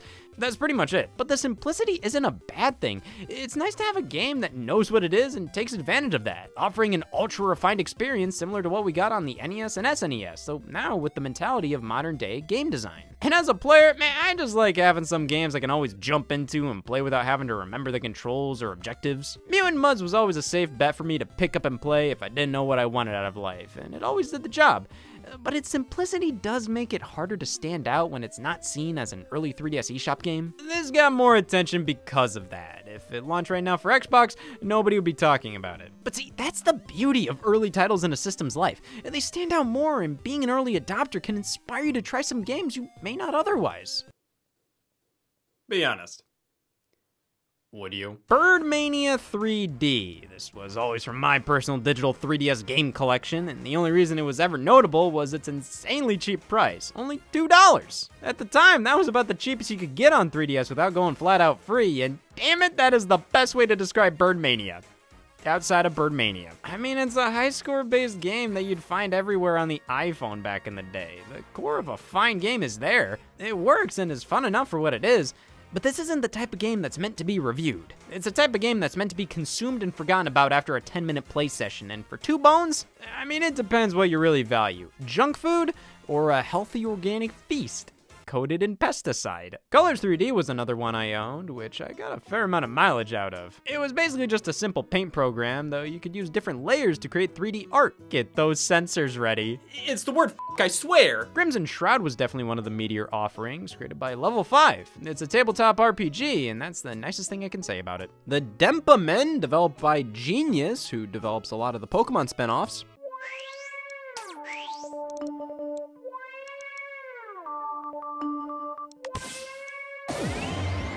They made three of them. Bomb Monkey, Art of Balance Touch, Zen Pinball 3D, Order Up, Mad Dog McCree.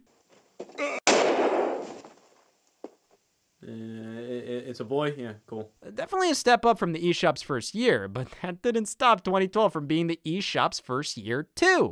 When the Wii U released in November of 2012, its very own Nintendo eShop came right alongside it. No waiting this time, everything was here and accounted for. Most retail games were offered as digital downloads, a handful of eShop only releases, though no virtual console titles yet. Uh, those would come within the next few months. His layout was definitely way smoother and less restrictive than the 3DS eShop. Uh, You could use the left or right sticks to move the page up or down, the D-pad to go panel by panel, or the touchscreen to go damn near anywhere. If we were timing this, let's just say you wouldn't be talking shit. Eventually, Eventually, they added this little slot machine game to play before the eShop fully loaded, uh, featuring all the icons from the games you own. I love the loading screen game, and with how damn slow the Wii U is at times, this went from cute addition to borderline necessary. It also helps the Wii U eShop stand out as a store. And now we wait for the competition's response. Only a few games exclusive to the Wii U eShop at launch. Most notably, we got Little Inferno. It's made by the same guys who whipped up World of Goo back on WiiWare, which was often considered the best game on the Wii Shop channel. That title showcased how this development team exceeded at physics-based puzzle games. Though Little Inferno is more so a physics-based puzzle toy. It's just about lighting different objects on fire and combining multiple objects to burn at once that match these little cues, and I love it. This is the perfect game for the Wii U, as you're using the touchscreen to control the fire and place items while everybody on the TV can see what you're doing. I find these types of experiences are what the Wii U does best, uh, next to Ringworm. Nano Assault Neo was a pretty standard shoot 'em up. Uh, Mighty Switch Force Hyperdrive Edition was just Mighty Switch Force in HD with hand-drawn sprites, which bleeds Chasing Aurora and Trine 2, with this being one of the most AAA indie releases at the time. And you know what? That was a perfectly serviceable selection of eShop games. The Wii U's launch had stuff to play, in the same way your dad says, what do you mean there's nothing to do? The gutters need cleaned. But this was a fine enough start to the second variation of the Nintendo eShop, and moving into 2013, we were about to experience our first full year of both 3DS and Wii U digital stores simultaneously. And absolutely nothing's gonna stop us from doing so. Hey everybody, Geriatrics here, therapist at the Think Barrel. Mental health's been on an upswing lately, and therapy profits are in the gutter. So I thought I'd do my part and get a second job telling the news again. So if this report traumatizes you, thanks bud, means a lot. If you start seeing things, you know who to call. We return to this hour's update on Throat Watch. Reports of dangerous substances such as lithium ion batteries being hidden in Halloween candy have been lowered to a concerning one. Resident Resident Rex Mose can be seen here eating shit.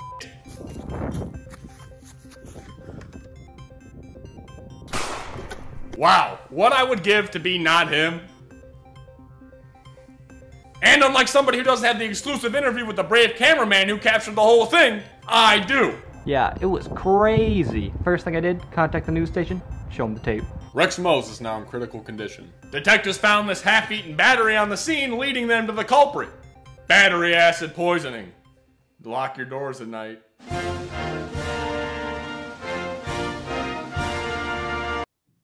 Should really stop labeling my stuff like that. Please! 911! Somebody just broke in! Can we have prison outside today? Sorry, friend, no can do. Maybe this will cheer you up. Can't have a criminal without a gun. Wait, do I know you? Well, there's a good chance he gutted someone. I was right there behind you with handcuffs. No, that hasn't happened yet. Do you have a brother? Nah, even better. Cousins. Got one that works at Target, one that's dead. I work at the police station. I'm police employee. Pleasure doing business with you. Well, I'm a convicted felon now. Might as well act like one. Yeah, while both platforms had applications called Nintendo eShop, while on the Wii U eShop you could look up games on the 3DS eShop and vice versa, you couldn't buy them. These were two separate entities, which like, goddamn, if they're two different stores, call them two different things. Which this just got messy. Virtual Console for Wii U was introduced in early 2013. NES games were being released there and the 3DS eShop during the same time, but they'd release the same games for both, months, sometimes even years apart from each other, and they'd be completely separate. So Yoshi for NES launched on 3DS eShop on February 21st, 2013. On Wii U, Yoshi for NES launched on June 12th, 2013. Same exact game that you'd have to pay for all over again in full just to play on Wii U. Most of the same NES games appeared on both systems, but some only released on Wii U and others only released on 3DS. Why? Exists and you're asking that? The Wii U and 3DS eShops felt significantly behind on the times. Sony had their cross-buy initiative. You buy a PlayStation 1 classic game on PlayStation 3, you got it free of charge on PlayStation Vita. Now, they did that with some indie games and even full retail releases. And they were able to do this due to the use of their PlayStation account system. One account you use across all your PlayStation devices. And in 2013, to buy a game on 3DS and then going to your Wii U only to hear it say, Who the f are you? it's just depressing. I feel like Nintendo wanted to have these systems speak to each other far more than they did. I mean, I can view 3DS software available on the Wii U eShop and why can I do that? But eventually, Nintendo finally combined the two eShops wallets. So pretty much, if you add 50 bones to your Wii U eShop balance, that money would also appear on your 3DS eShop. That's all it took for you? Well, when it came to actual software on the Wii U eShop in 2013, Nintendo's first major release was Google Maps. Wii Street U was a free app using Google Maps data where you could look up locations on your Wii U gamepad. Keep in mind, in 2013, this was one of only three games that released for the Wii U in February. It's just the Street View feature from Google Maps, but now with the option of moving around with the gamepad's gyroscope. For some reason, Nintendo thought this was immersive, so much so they released a similar application a few months later, Wii U Panorama View. Instead of looking up locations for free on Google Maps, this was a series of videos you had to shell out $2 a pop for. This was one of three games released in April. Why Nintendo was pushing the Wii U to do this kind of thing, I have no idea. It's not that it did a bad job at this, it was smooth and well produced. It's just you're holding a giant ass serving tray with a comparatively small screen with a low resolution. Oh, Paris. The amount of worthless applications Nintendo put out on Wii U in 2013 instead of actual video games is shocking. We got Animal Crossing Plaza, a companion app to a damn 3DS game. It was integrated with the Miiverse social media platform of the Wii U and allowed you to make posts about specific animals in the game. If any post began with, Listen, I'm just gonna say it. run. At least this was a free app, but they took it down a year and a half later, and the entire purpose of it was nothing but questionable. So, this is for Animal Crossing New Leaf players to interact with each other on a console that can't play Animal Crossing New Leaf. Nintendo, just become a serial killer. You have the thought process of one. We got Art Academy Sketchpad for like, what, $4? It wasn't like previous Art Academy games on the DS and 3DS. There was no Academy. This is just a drawing application. Pretty much Nintendo pitched it as a way to share full color drawings on their Miiverse platform, draw something in the game, share it via the screenshot functionality, which, hey, the usefulness of this app is very similar to something like Colors 3D. The problem is, this was just a demo for an actual Art Academy game that later came to Wii U. Like, Jesus Christ, did Nintendo release an actual video game on the Wii U eShop in 2013? No. Pokemon Rumble U, $18. Why not 19? This is genuinely one of the worst games Nintendo's ever released, which, hey, one of the Pokemon Rumble games had to make the list. Originally a WiiWare game where you progress through simple levels battling other Pokemon with one of two very basic attacks, Pokemon Rumble U brings things to the next level by charging $18. There are no levels, just battle arenas. You just go into a basic ring and fight a bunch of Pokemon.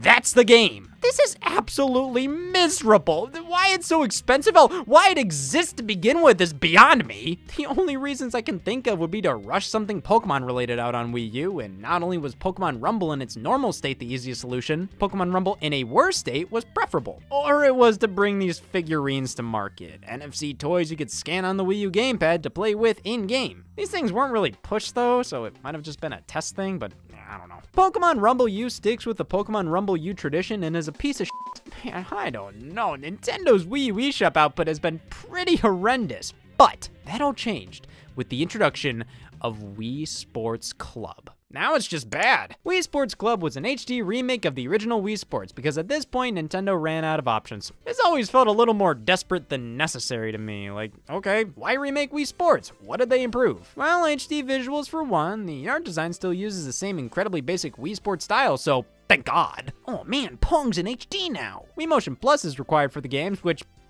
Eh, I'm just so used to how these games controlled without better motion control. Now that they have them, it's creepy. Golf and baseball both use the gamepad in unique ways. Golf, you set it on the floor and can see the ball. And the Wii U failed fucking why? Baseball's a bit more involved, using it as the pitcher and fielders.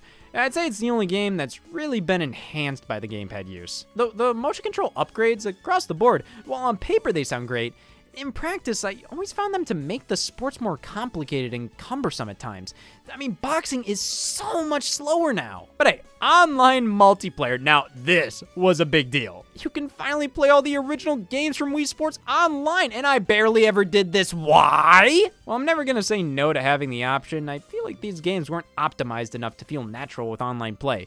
I mean, compare bowling here to Nintendo Switch Sports. That has everybody bowl all at once, and overtime eliminates players that don't meet the score threshold. While in Wii Sports Club, it's pretty much just regular bowling. You have to watch the other players do everything, and when I say everything,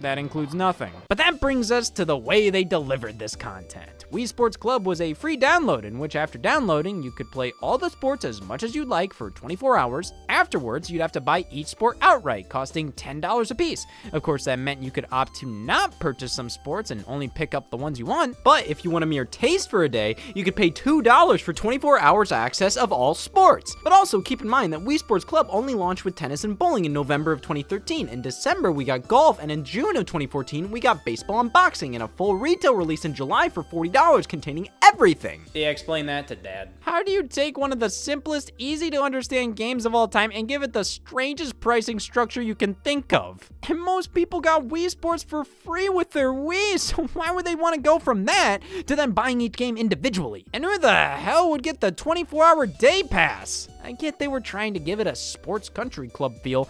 I mean, it's in the damn title, but at what cost? Too much. $40 overall for a remake of a game most got for free that you could already play on the console was remade on with minimal changes or additions outside of online multiplayer, which sounds amazing, but ended up being not nearly as fun as I dreamed when playing Wii Sports on its heyday.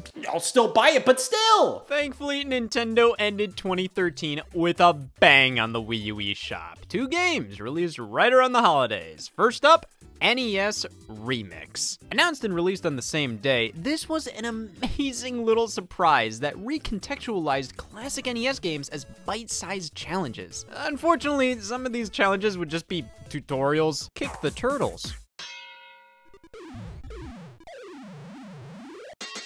Oh no, my ass! I've worked it off! But it's addictive to go through as many challenges as you can and try to get the best rank possible, rainbow stars. Though I think what NES Remix does best is actually make some of these games fun in a modern day setting. There's no human reason to play NES baseball anymore, but in the form of a challenge mode where you still get to play the game, but in a more abridged fashion, almost like playable highlights, it all makes sense. It makes these games as fun as they were back when they released. Now, of course, just browsing around the menus, it's clear Nintendo positioned NES Remix as a bit of an advertising tool, making sure the players know they can buy the full games on the Nintendo eShop. But this element is definitely underplayed and never overtakes the experience. This genuinely feels like an ingenious method of making outdated NES titles cool again. But of course, the star of the show is the remix challenges, though I'd say these are pretty hit or miss. Sometimes these are as cool as playing Donkey Kong as Link, but because you're Link from the original Legend of Zelda, you can't jump. So not only is it wild to play the game as a different character,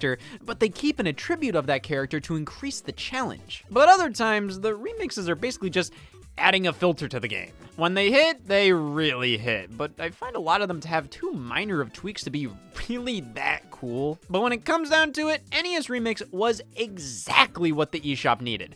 Something familiar yet incredibly fresh and fun. And for only 15 bones, I'd say this was the one eShop game that belonged on everybody's Wii U.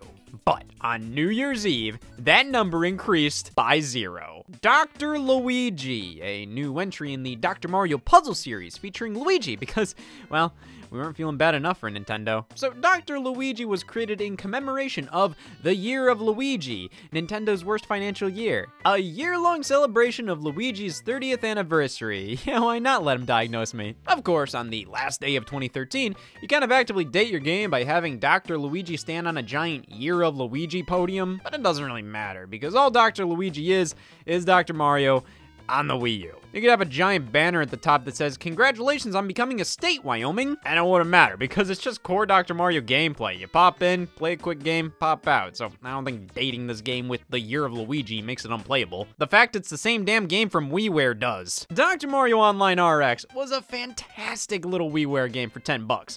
Then five years later, Dr. Luigi releases for $5 more, introduces a mode with L-shaped pills, and the color green. Yeah, I gotta be honest, this is a pretty pitiful follow-up to all the Dr. Mario's before. This is literally just Online RX, but in HD, with this new mode. Operation L. Instead of matching up a pill with two colors to the viruses in the bottle, and now you have to deal with an L-shaped pill. God damn, who gives a shit? This doesn't change the game. If anything, it just makes it easier because you have more pills, you have more chances to clear all the viruses. A lot of the music is reused from Online RX, the rest of the modes are. This just always felt like a fairly passionless project. I mean, it's cool that the viruses here have new designs and this Virus Buster mode returning from the WiiWare game plays differently, focusing on using the touchscreen of the gamepad, but it's not enough. This just feels like it was put together with not much thought at all. It's a competent modern Dr. Mario experience, but that's the only reason why I ever booted it up, because I just felt like playing Dr. Mario. I'm not perfect. And that was Nintendo's Wii U eShop output in 2013. Does anybody else feel itchy? I'll leave it up to the third parties and indies to pick up the slack. I'd say Toki Tori 2 was one of the big headlining indies this year. I mean, a sequel to a late release Game Boy Color game exclusively on Wii U? It's a shame because Toki Tori 2 is a great little puzzler with loads of charm, and they also put out the remake of the original game on the eShop that very same year. It's always heartwarming to see developers really get behind certain consoles and create their games exclusively for them. It can help out, as in the case of Toki Tori 2, that was one of the only original games that released on the Wii U in April 2013, and even if the game has released on numerous platforms since, I always see it as a Wii U game. But it is so risky to do that, especially for such a niche series like Toki Tori. And some games, as much as I associate them with Nintendo and the Wii U as a whole, did release across multiple platforms, which was for the best. Bit Trip presents Runner 2 Future Legend of Rhythm Alien, a great auto-scrolling rhythm platformer succeeding the Bit Trip series on WiiWare, specifically Bit Trip Runner. You know, there's not much to say outside of how addicting this game can be, and it's great to see how Runner 2 breaks free of the Atari 2600 styled graphics of the original Bit Trip series. As while that was unique, especially compared to how other retro-esque games would almost always tackle NES-style 8-bit at the time, it was for sure limiting, and you can only take the series so far with those types of visuals. And while that original series was exclusive to WiiWare for the longest time, Runner 2 launched on PC, PlayStation 3, Xbox 360, and Wii U, which was definitely smart for the developer. Though, this was always a Wii U game to me, much like DuckTales Remastered. DuckTales on NES by Capcom was always seen as this legendary title, one of the greatest on the console, setting the standard for licensed games based on cartoons.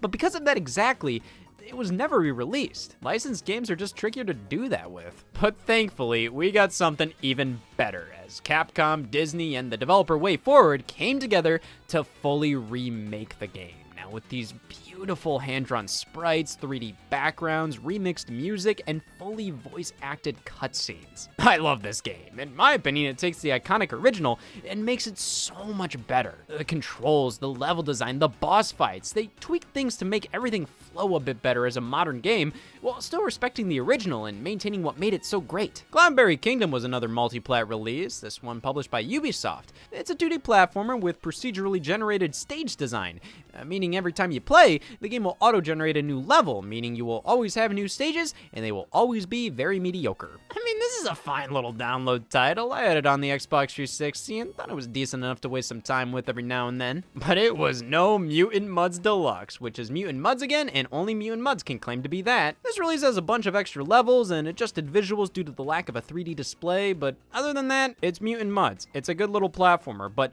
I want something unique to Wii U. And horny. And horny. Spin the bottle, Bumpie's Party. Oh, sh. They got Bumpie in on this? One of the most unique Wii U games, honestly. A local multiplayer only joint that barely uses the TV at all. It's all about huddling around the gamepad and using it to do all kinds of stupid things, like play Spin the Bottle Bumpie's Party. It's honestly pretty damn close to something like 1-2 Switch on the Nintendo Switch, where most of the fun comes from interacting with the other people in the room, while the video game portion is more so in the background, encouraging that kind of behavior. I'd say this is a pretty alright party game to have.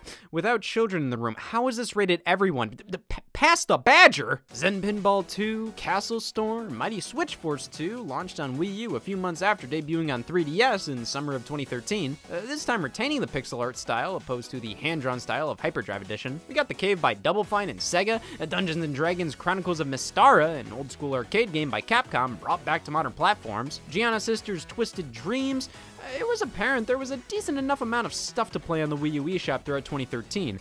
But it was more apparent what wasn't there. Soul Calibur 2 HD, released on Xbox 360 and PS3, this game was infamous for having exclusive characters for each console it released on, with Link from The Legend of Zelda in the GameCube version. I mean, talk about a missed opportunity not putting this out on Wii U and bringing Link back.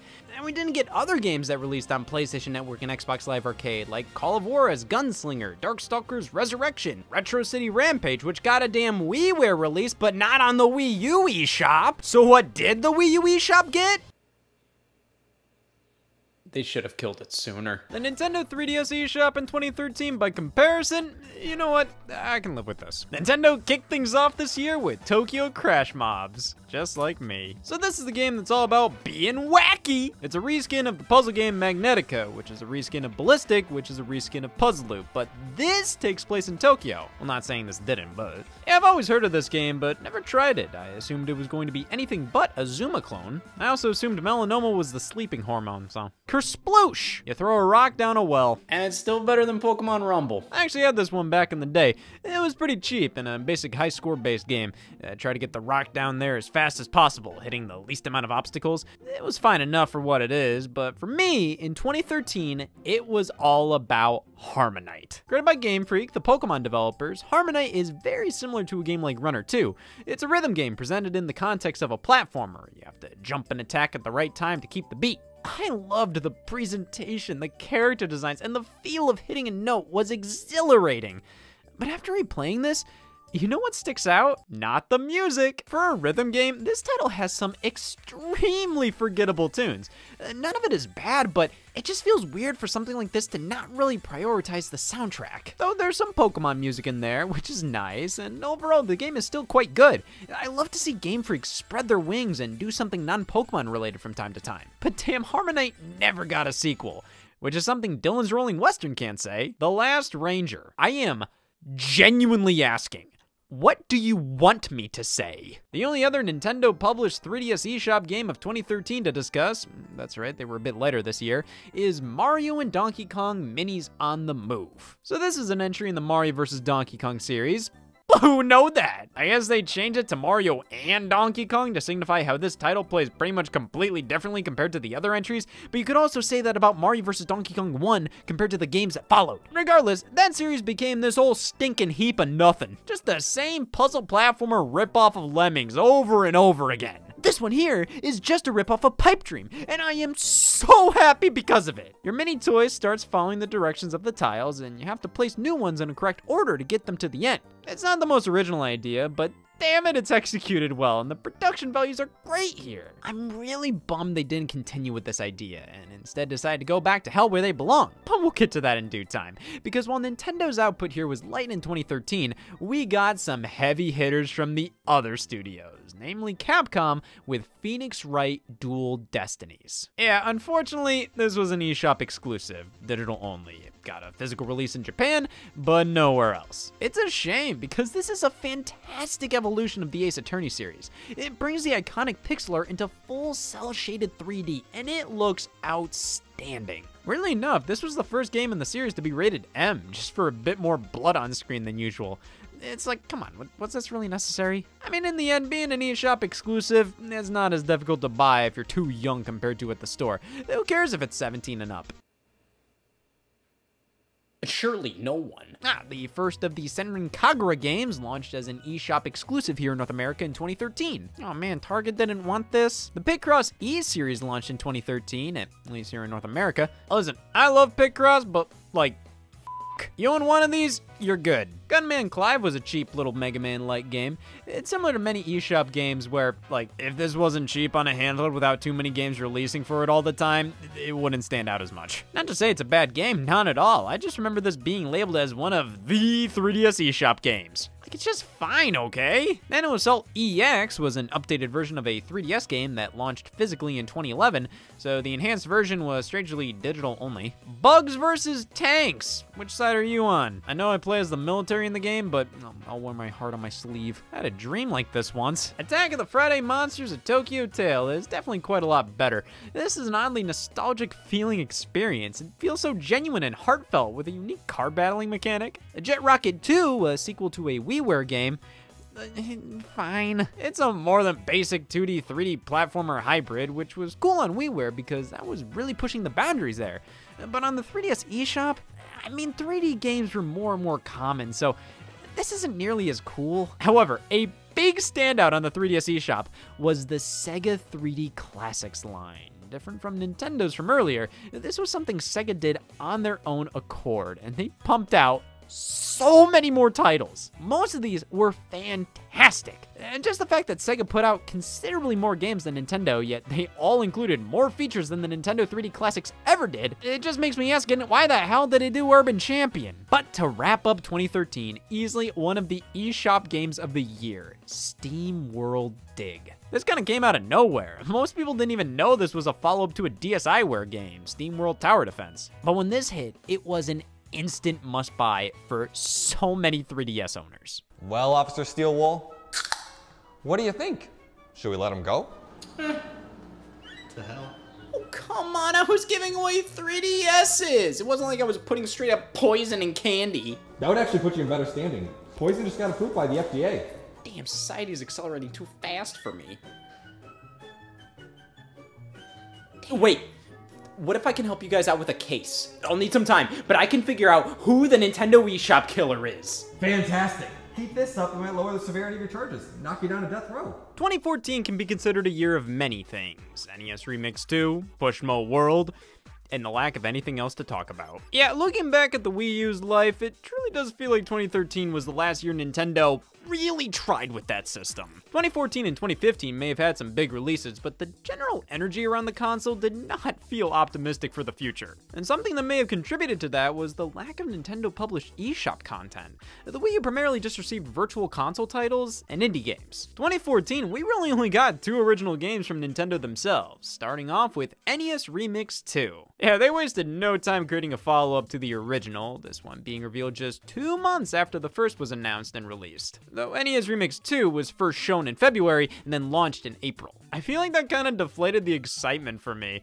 I mean, NES Remix is not the type of game you can hype up for months on end. Like, damn, did you see the leak? But this one was definitely quite a bit more interesting considering the game lineup. Oh wow, actual video games! Where's Scoon? I mean, Super Mario Bros. 2, 3, Zelda 2, Metroid, Kid Icarus, Kirby's Adventure, Dr. Mario, it's some of the greatest games on the NES, all featured in NES Remix 2. That alone makes this entry far better than the first. You'd think. I'm of the opinion that the simpler and worse games featured in NES Remix worked better with this challenge format, or at the very least, the games themselves benefited from being here. Yeah, Mario Brothers controls like ass, but that makes conquering 10 second challenges actually pretty fun and rewarding. Most of the flaws with these games don't get on my nerves in NES Remix because of how quick these are, and these older titles being this simple make them naturals for bite-sized missions. Plus, being playable in this way makes it easier to experience these titles in a modern context. NES Remix 2, the games all have more depth, they're more complicated, and thus, they are far better, but it's sort of a double-edged sword because, well, yes, the games here are great, part of me would just rather play the actual games themselves. You can't tell me you had that problem with the first game. It kind of makes the more filler challenges like hold the B button and watch the demo that much more irritating. Like NES Remix 2 does have a slightly smaller number of challenges than the first game did, and you still include this? Eh, I do feel like the quality of challenges across the board have improved though, especially with the remixes. These have seen a noticeable improvement with far more character from this game and that game moments, which are always a blast. A ton more wacky ideas that feel like legitimate remixes rather than Photoshop filters. They also included Super Luigi Brothers, the full Super Mario Brothers game, but played backwards with Luigi. It is pretty wild how much a simple mirror mode can alter any game. Oh, and Super Mario Brothers is no different. This is a cool little bonus.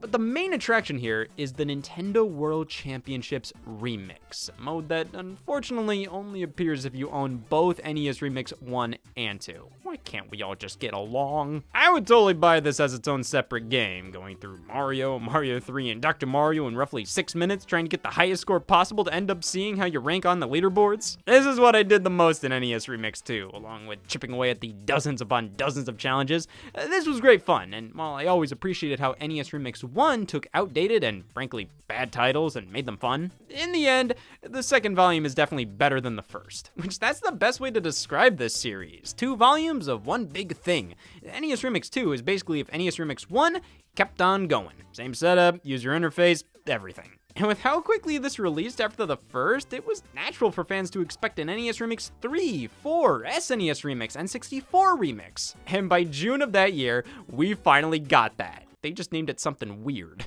Pushmo World, another installment in the Mo series. Though this one reverts back to the original Pushmo with its gameplay mechanics. I mean, it's still really damn good, but there's not much to say outside of it's an HD Pushmo. It is a brand new game, it's not just the original 3DS entry on Wii U, but it might as well be. There's nothing distinctive about this one outside of it's in HD now. Why not add a multiplayer mode or something to take advantage of this being on a home console? In the end, yeah, I like this, but there's really not much else to say. It's another Pushmo on Wii U. That's it. Which, hey, that would have been perfectly fine, but man, the list just ended. That's if we don't include Japan exclusive eShop games. Interestingly enough, Nintendo released free software titled Nintendo Game Seminar 2013. This is a collection of four small games created by budding game designers during an event Nintendo would hold to teach how to make games just like the greats. There's not much here to write home about. These are very simple titles created within a small amount of time, but it's absolutely wonderful to see them compiled and officially released this way, even if it was only in Japan. And you know what? If we're counting that, I'll count this.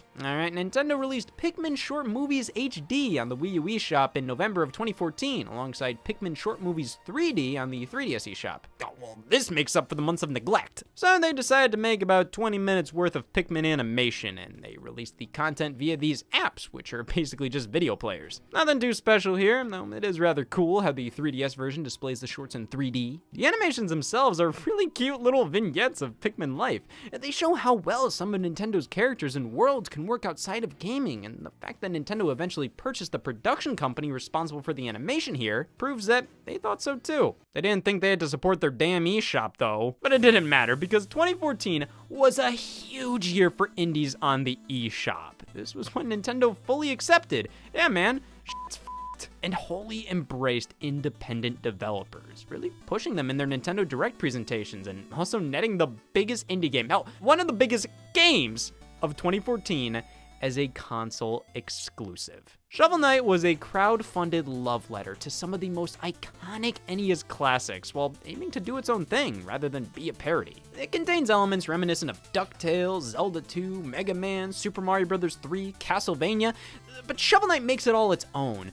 Something I always respected was how Shovel Knight never references anything. Uh, nobody in the game says it's dangerous to go alone or your princess is in another castle that helps Shovel Knight feel like it can stand toe to toe with the games that inspired it, rather than forever live in their shadow. Outside of the widescreen presentation and increased color palette and detail, this feels like it could have been straight from that 8-bit era. But that shows off how Shovel Knight isn't afraid to take the best from both retro and modern gaming and create one of the tightest designed experiences of the 2010s. The gameplay? Immaculate. It can't be overstated how ingenious the checkpoint system is. You can pass through these as normal checkpoints, or you can destroy them for extra cash. They won't work as checkpoints anymore. Like, that is my go-to method to ask where it all went wrong. The controls are perfect. The levels are masterfully crafted. The world and characters feel so genuine. It's easy to see how this was considered one of the best 2014 had to offer, and it was only on PC, Wii U, and Nintendo 3DS for the first year. The 3DS version is incredible. Stereoscopic 3D, everything looks so crisp on that tinier display, and after playing the game on home console, having it in its entirety on the 3DS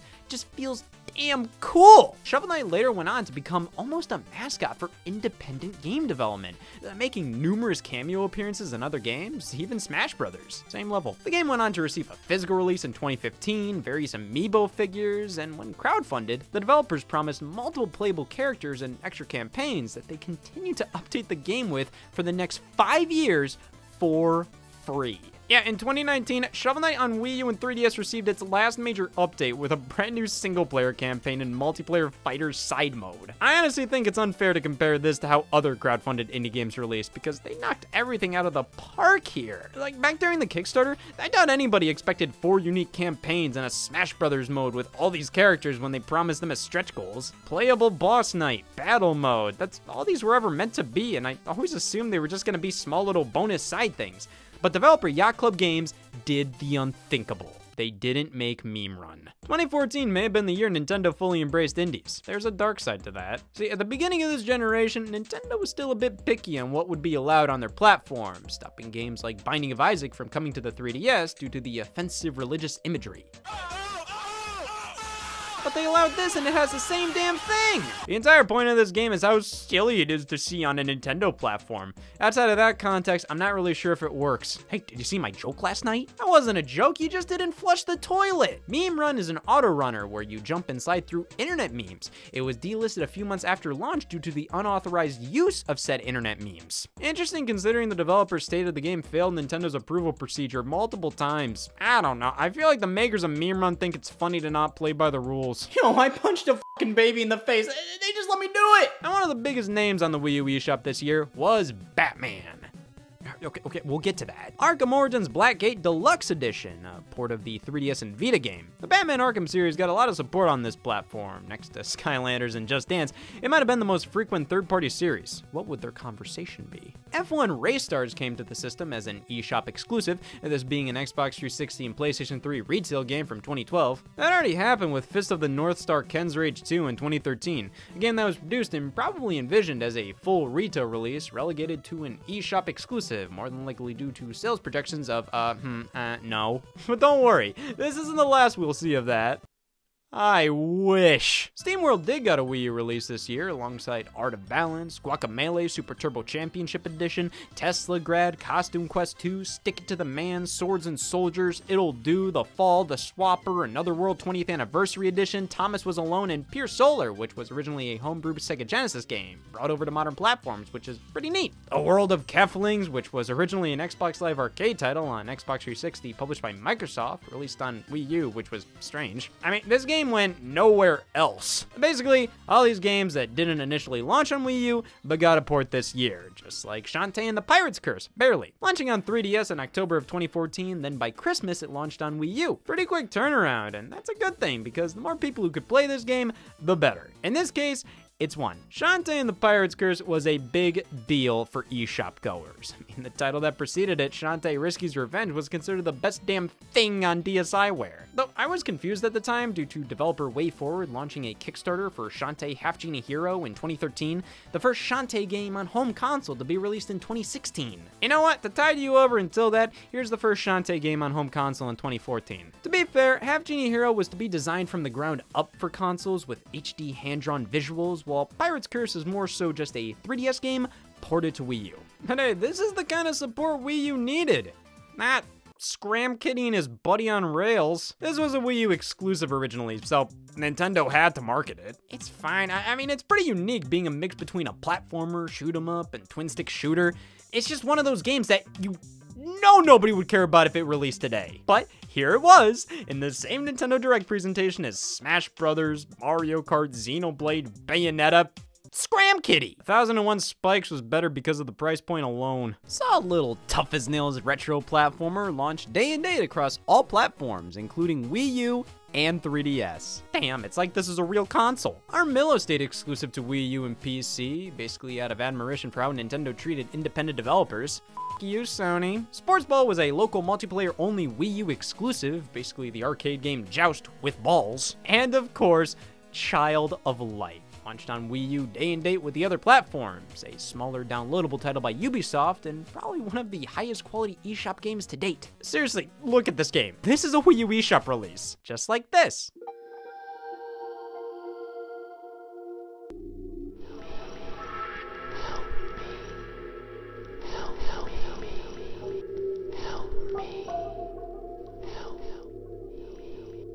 You can't say the Wii U didn't have variety. The 3DS had a bit of a slower year on the eShop in 2014, obvious by the fact it started with Steel Diver Sub Wars, Nintendo's first free-to-play title. They were already experimenting with different pricing strategies, like with Wii Sports Club, but this was structured like other free-to-play titles, where the online multiplayer is available to all who download, while other elements, specifically most of the single-player content, is locked behind a paywall. It always felt like Nintendo sort of just did this to tell their investors to shut the hell up! They were constantly pushing Nintendo to do this sort of thing. Join the mobile game space, put your games on, dear god, anything without two screens. So Nintendo said, fine, we'll make a free-to-play game. on the 3DS, based on Steel Diver. Yeah, the 3DS launch title by Nintendo about submarines. Look, everybody, it's the guy who gave a shit.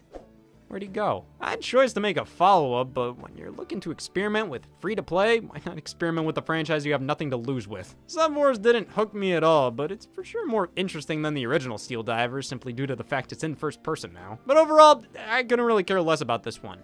Though, in contrast, things can't be further from the truth about Nintendo's other free-to-play offering this year. Rusty's Real Deal Baseball is this amazing hybrid between a sports arcade minigame collection and visual novel. It's all about talking to Rusty, who owns a baseball video game shop. You want to butter him up by telling him what he wants to hear, giving him items that make it easier to haggle the prices of the games you buy. Yeah, since this is a free download, you can play it for a bit, but afterwards you have to purchase the rest of the games with real world money, though the real world price you pay is dependent on how much you can haggle with a dog. This is still one of the most unique implementations of in-game purchases. Uh, sure, the haggling is scripted, there is a limit to how much Rusty is willing to go down, but you can decide whether to keep pushing for a lower price and use discount coupons you earn playing the games, or say, you know what, he earned this. The games themselves are really simple, but quite addicting and fun, even though 100% this wouldn't be for everybody. While I think the pricing structure is pretty cool, others may find it insulting. I still feel that this is one of the eShop's greats. Even when forced into a corner to conform to industry trends, Nintendo still finds a way to be Nintendo. And then there's Pokemon Battle Trozei, sequel to this DS game, which the only thing I can really say about is I like the box art. This looks really modern for a 2006 DS game, you know? This is pretty much like any other icon linking puzzle game you'd find on a smartphone, but it does bring over the strategy of the mainline Pokemon series. You link up the icons of a certain Pokemon, it'll do an attack to the Pokemon on the top of the screen you're battling against. And because certain types of Pokemon are weak against other certain types of Pokemon, you can keep that in mind to defeat your enemy quicker.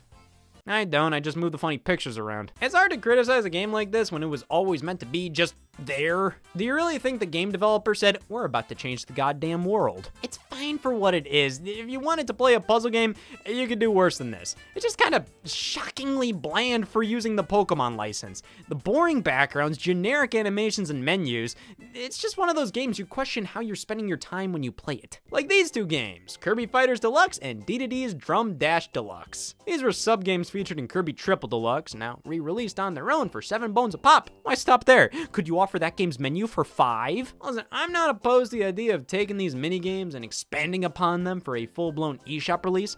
I just don't think they did that.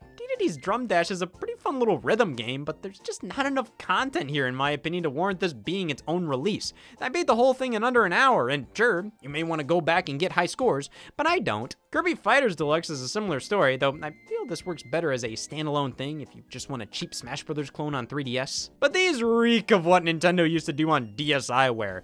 Chop DS games up and offer them as smaller downloadable titles. Like, yeah, I see the strategy and a bit of the appeal back then. It was nice to have these slices of games always available on your system, but when you straight up are offering retail games on the eShop for download, this whole thing is starting to fall apart. But here comes Chibi Robo Photo Finder to save the day. Nintendo resurrected Chibi Robo!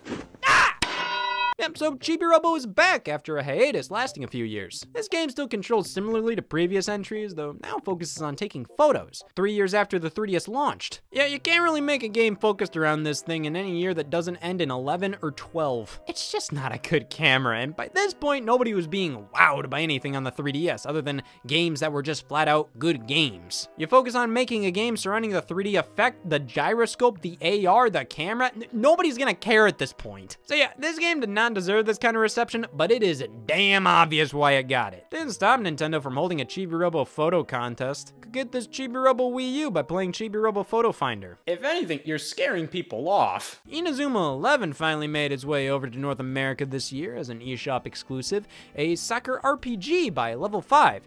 It just won't stop in Japan and Europe, but it did on its first try over here. Retro City Rampage DX on 3DS. That was cool to see, especially because they still refused to do a Wii U version. 2048, crank the fucking 3D up. Moon Chronicles was a remake of the original DS game Moon, being released episodically now, plus having the audacity to be one of the only first-person shooters on 3DS. Good for it, that's awesome!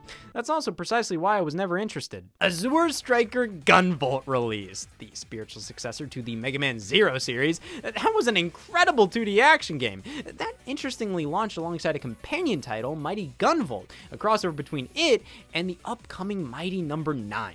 This was during the great Mega Man drought of the 2010s, so getting a classic Mega Man-like experience on top of a Mega Man Zero-like experience on the same day by the developers of both Mega Man 9, 10, and the Zero series with Mighty Gunvolt featuring the protagonist of the upcoming Mega Man spiritual successor, well, the rest of it was good. Woah Dave and Xeodrifter were nice little indie releases, but other than that, it was a bit of a softer year for 3DS, with Wii U getting some more attention. And with Epic Dumpster Bear releasing soon, it better pick up the pace. I love all Mario vs. Donkey Kong Tipping Stars games that released in 2015. Well, not that one. Releasing on both Wii U and 3DS at the same time, this was Nintendo's answer to Sony's cross-buy initiative. Finally, I can get a game on Wii U and I'll get it for 3DS as well, free of charge. Oh man, they were so nice. When I took the moldy bread, they gave me the puddle of vomit for free. Listen, the Mario vs. Donkey Kong games are all completely edible. They work, they'll fill you up, but man, like, I don't want lasagna again.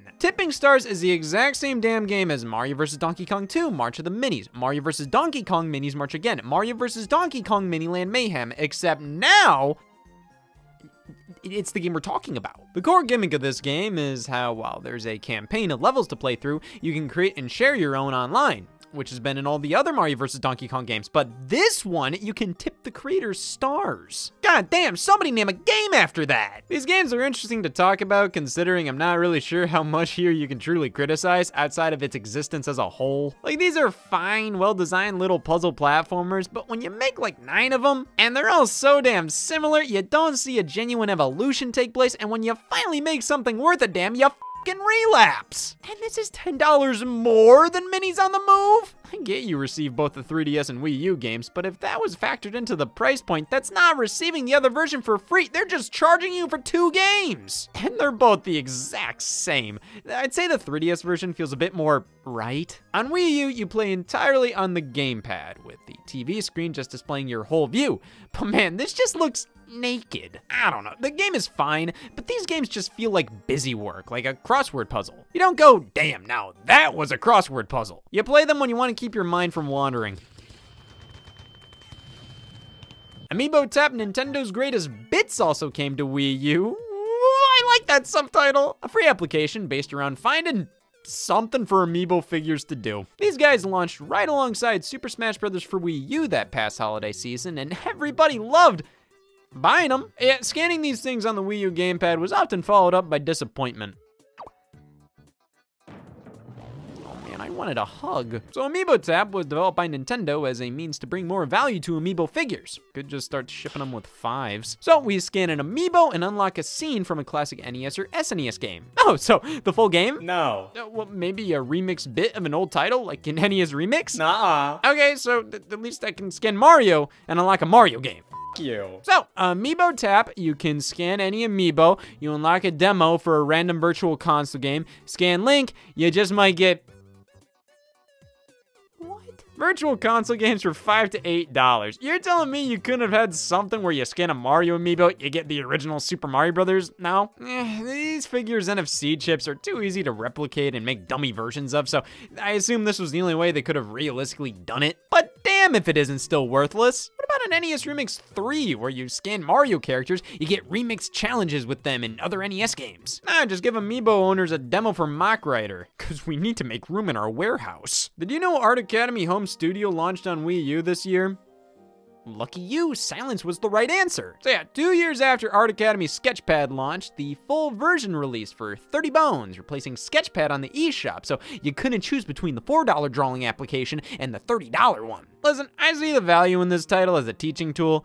It's just harder when you offer the main thing you're gonna be doing in the game for seven times less cash. It's like what, I've been using Art Academy's Sketchpad for two years and then I say, finally, now I can learn how to draw. This is pretty much Sketchpad, but with lessons included, and the lessons in this game are fantastic. This is a wonderful way to teach about art, and this is a game that does benefit from being on Wii U with the gamepad. But I feel like this took way too long to release after Sketchpad. And by the time it did, I think everybody forgot how full-fledged Art Academy was even coming to Wii U. I think most assumed Sketchpad was it. It being an eShop exclusive definitely didn't help things. It got physical releases elsewhere in the world though, with Europe titling it Art Academy Atelier. That is a room in which art is done. I wish North America had a more similar titling method. In the end, it's fair to say this is one of Nintendo's most forgettable Wii U releases. They barely advertised it, only released here via the eShop, and it's easily confused with the $4 app that came out in 2013. All this game is is an alibi. I drew this the day of, Your Honor. It, it couldn't have been me. Seems that Nintendo was starting to release more games exclusively on the eShop when they just weren't confident in their retail presence. Case in point, Fatal Frame, Maiden of Black Water. Yeah, Nintendo, do a digital only release for a 14 gigabyte game on your system that only has 8 gigabyte and 32 gigabyte variations.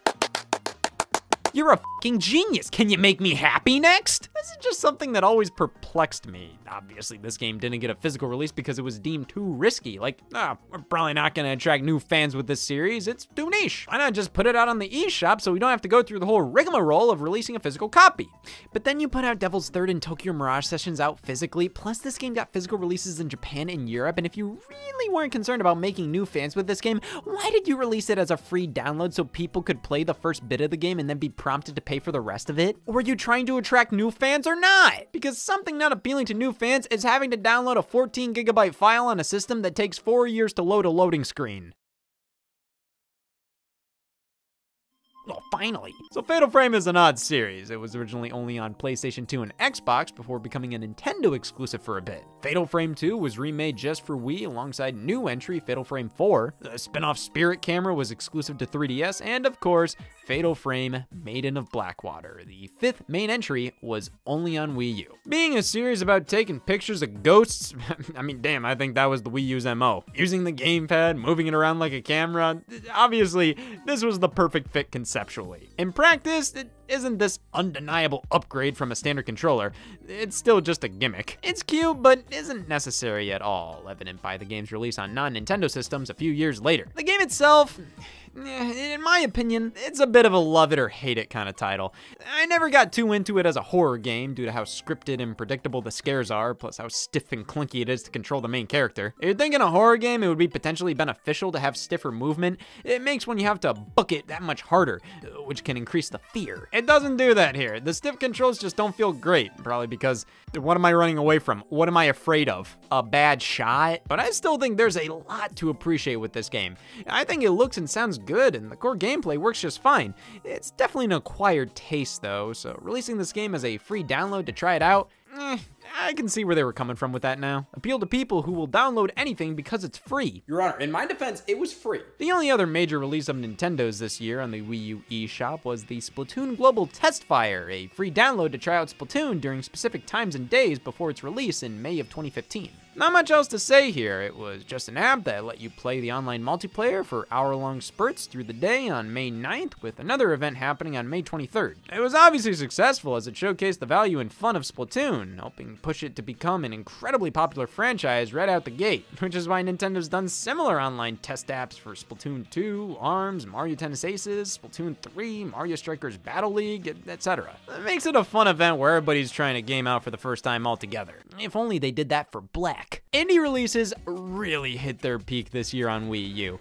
We got so many amazing titles, and yeah, I'll say it, Blek is one of them. Oh, thank God. This was originally a mobile game, but one of the classy ones. A game that genuinely needs a touchscreen, so obviously mobile made the most sense for it, though thankfully it got a Wii U release. It's all about drawing formations that repeat indefinitely so you can try to hit certain icons while avoiding others. It's just a really solid little puzzle game that gets pretty tricky pretty early on, though no stage ever feels unbeatable. Citizens of Earth was an Atlus published RPG heavily inspired by Earthbound that also launched on 3DS that I always found pretty damn charming. Dot Arcade was an interesting Wii U exclusive, being based on the most primitive form of video game, Lights. This came out the same year PS4 got Rocket League. Come on, guys, just buy the Wii U. Why?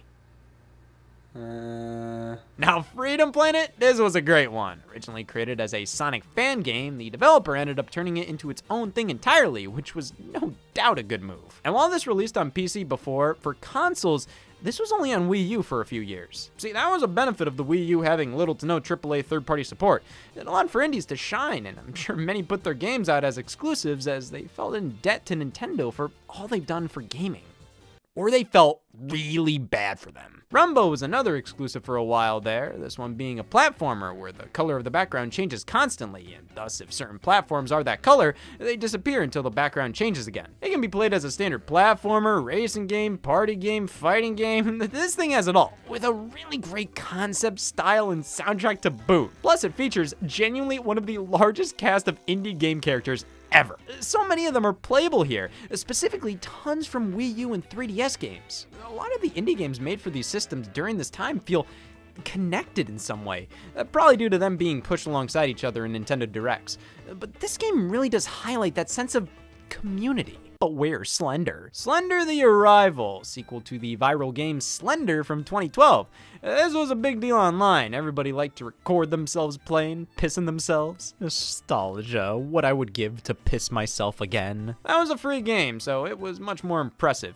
As a cheap little jump scare game, it worked well. Slender the Arrival is on a different level, considering you have to pay for it. And I just feel like less is more here. Uh, this game feels like they were under a lot of pressure after their free little game blew up online, so they had to follow it up with something bigger, more ambitious but they just couldn't execute it well. Look at this. This is a choppy mess. Also, I will say this might have been a problem with Fatal Frame. I think it's physically impossible to be scared with this in your hands. Now to onlookers, yeah, this is f***ing terrifying. Octodad, Dadliest Catch, the original Trine Enchanted Edition, Woah Dave, Xeodrifter, Don't Starve Giant Edition, the Gunman Clive HD Collection, which bundled Gunman Clive and Gunman Clive 2, which released earlier this year for 3DS, OlliOlli, Electronic Super Joy, all fantastic to see come to the console.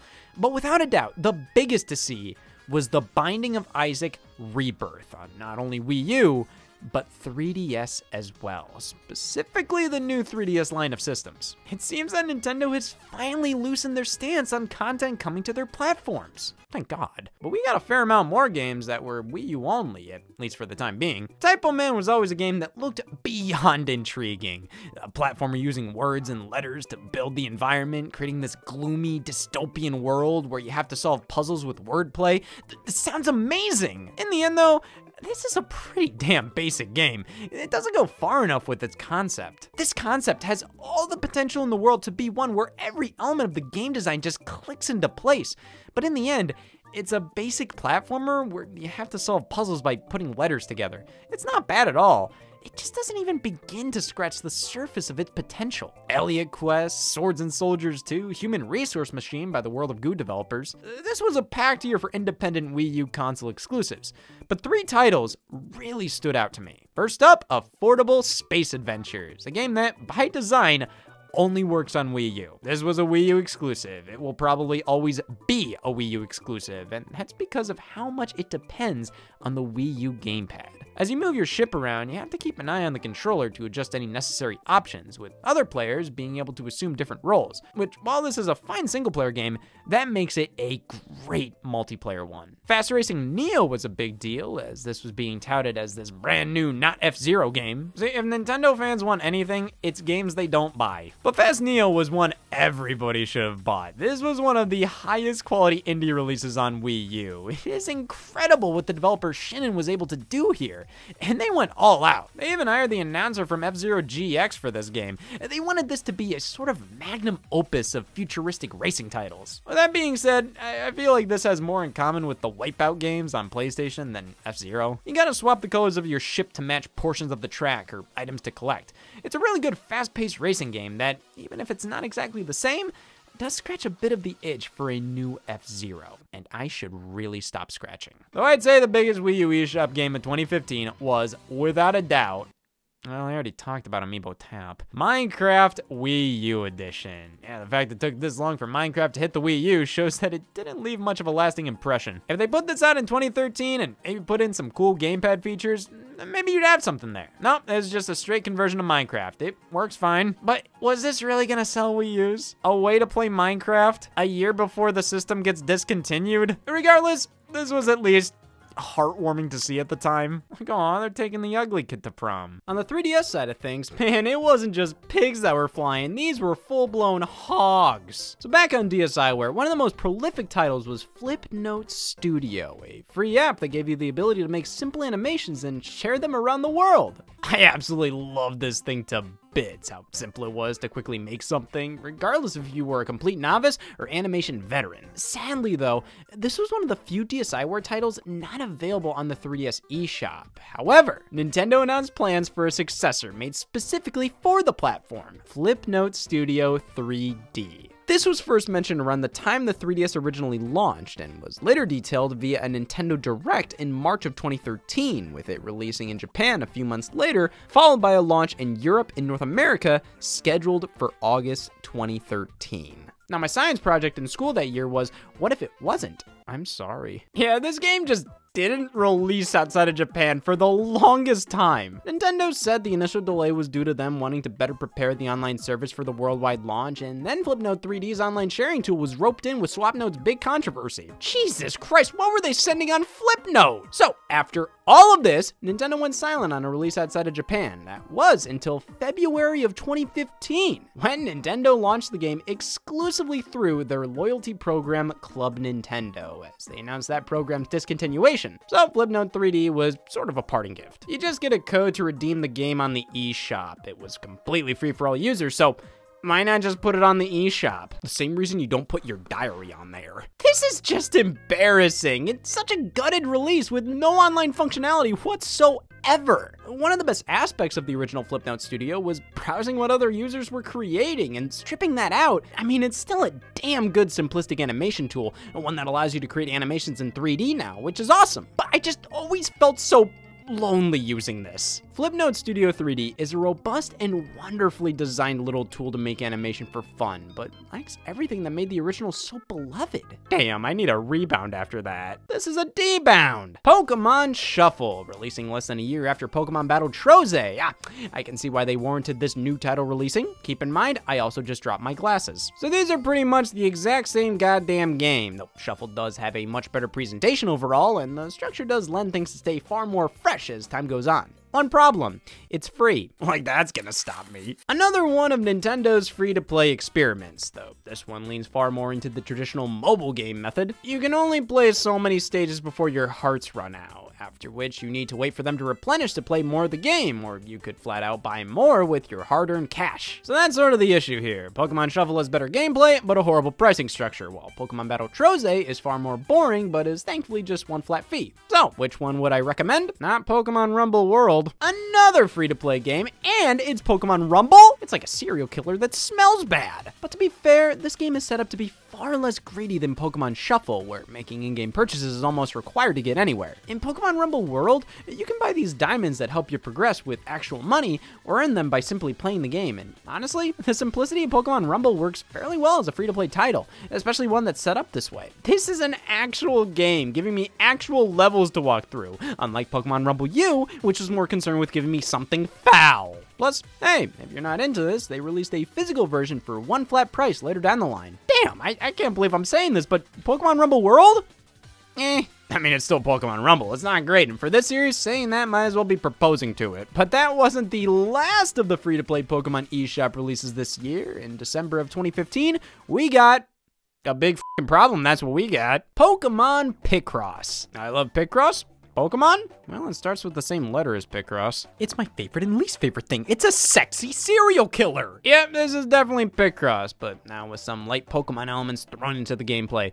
Each puzzle is based on a specific Pokemon, and when you finish it, you can then use that Pokemon and their special abilities in future puzzles to help out. So yeah, it has a bit more personality than a typical Picross game, but when that personality is being communicated through pixel art that barely moves, it's not really a game changer. When it comes to the free-to-play aspect, the game thankfully caps you out after spending about 30 bones and proceeds to make all the in-game currency free following that. Without spending money, it takes far too long to unlock everything and progress through the title. Though with spending money, I mean, $30 for this? Come on, I could buy the, Pokemon Rumble World for that. This one's alright, just feels a bit forced into the free-to-play model rather than being fully designed around it, much like Stretch Stretchmo. Another entry in the Mo series, this one being free to download. The idea here is that you can purchase certain batches of levels if you just want certain stages or just a handful for cheap, or you can buy them all together for a discounted price of 10 bones, around the same price as the previous titles. The different level packs all have unique themes, such as NES games or having to avoid obstacles while solving the puzzle,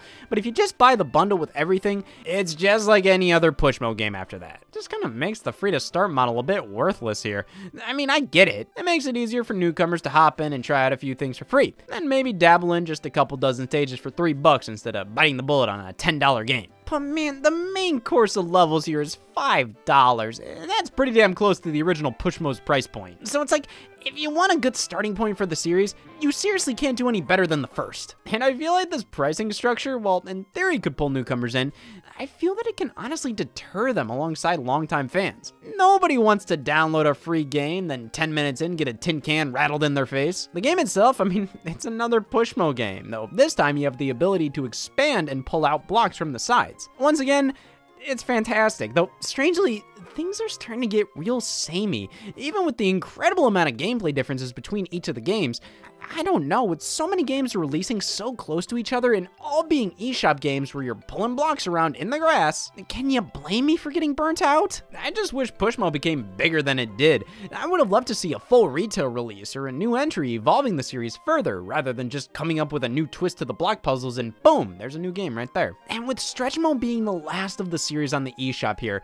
2015 felt like we were passing the torch from one eShop icon over to another. Introducing BoxBoy, developed by HAL Laboratory, the people behind Kirby. Very simple platformer where you can push out blocks from your character here and form them in certain ways to solve puzzles, make a bridge, a step, shield yourself with them, etc. This has some really simple yet incredibly smart design to it all though it was always hard for me to get fully invested in this series. I mean, its simplicity is beautiful, but also its biggest detractor in my opinion. While the design here is smart, I don't think it's as smart as other puzzle games with basic visuals for this to truly stand out to me. A good game with solid mechanics, just what I feel wouldn't be talked about nearly as much if it weren't made by the Kirby developers. If it were made by the Dr. Mario Miracle Cure developers, none of you would bat an eye. Yeah, also releasing this year was a new Dr. Mario game. For $9, you get Dr. Mario gameplay or Dr. Luigi gameplay like the L-shaped pills, plus online and local multiplayer, the Virus Buster mode, and a new mode entirely featuring power-ups. Why was this $6 cheaper than Dr. Luigi? Because Mario just rolled out of fucking bed for this one. What's up with his face? Seriously though, when this released, it was the definitive modern Dr. Mario experience. The Nintendo 64 game still had a unique single-player story mode and four-player multiplayer,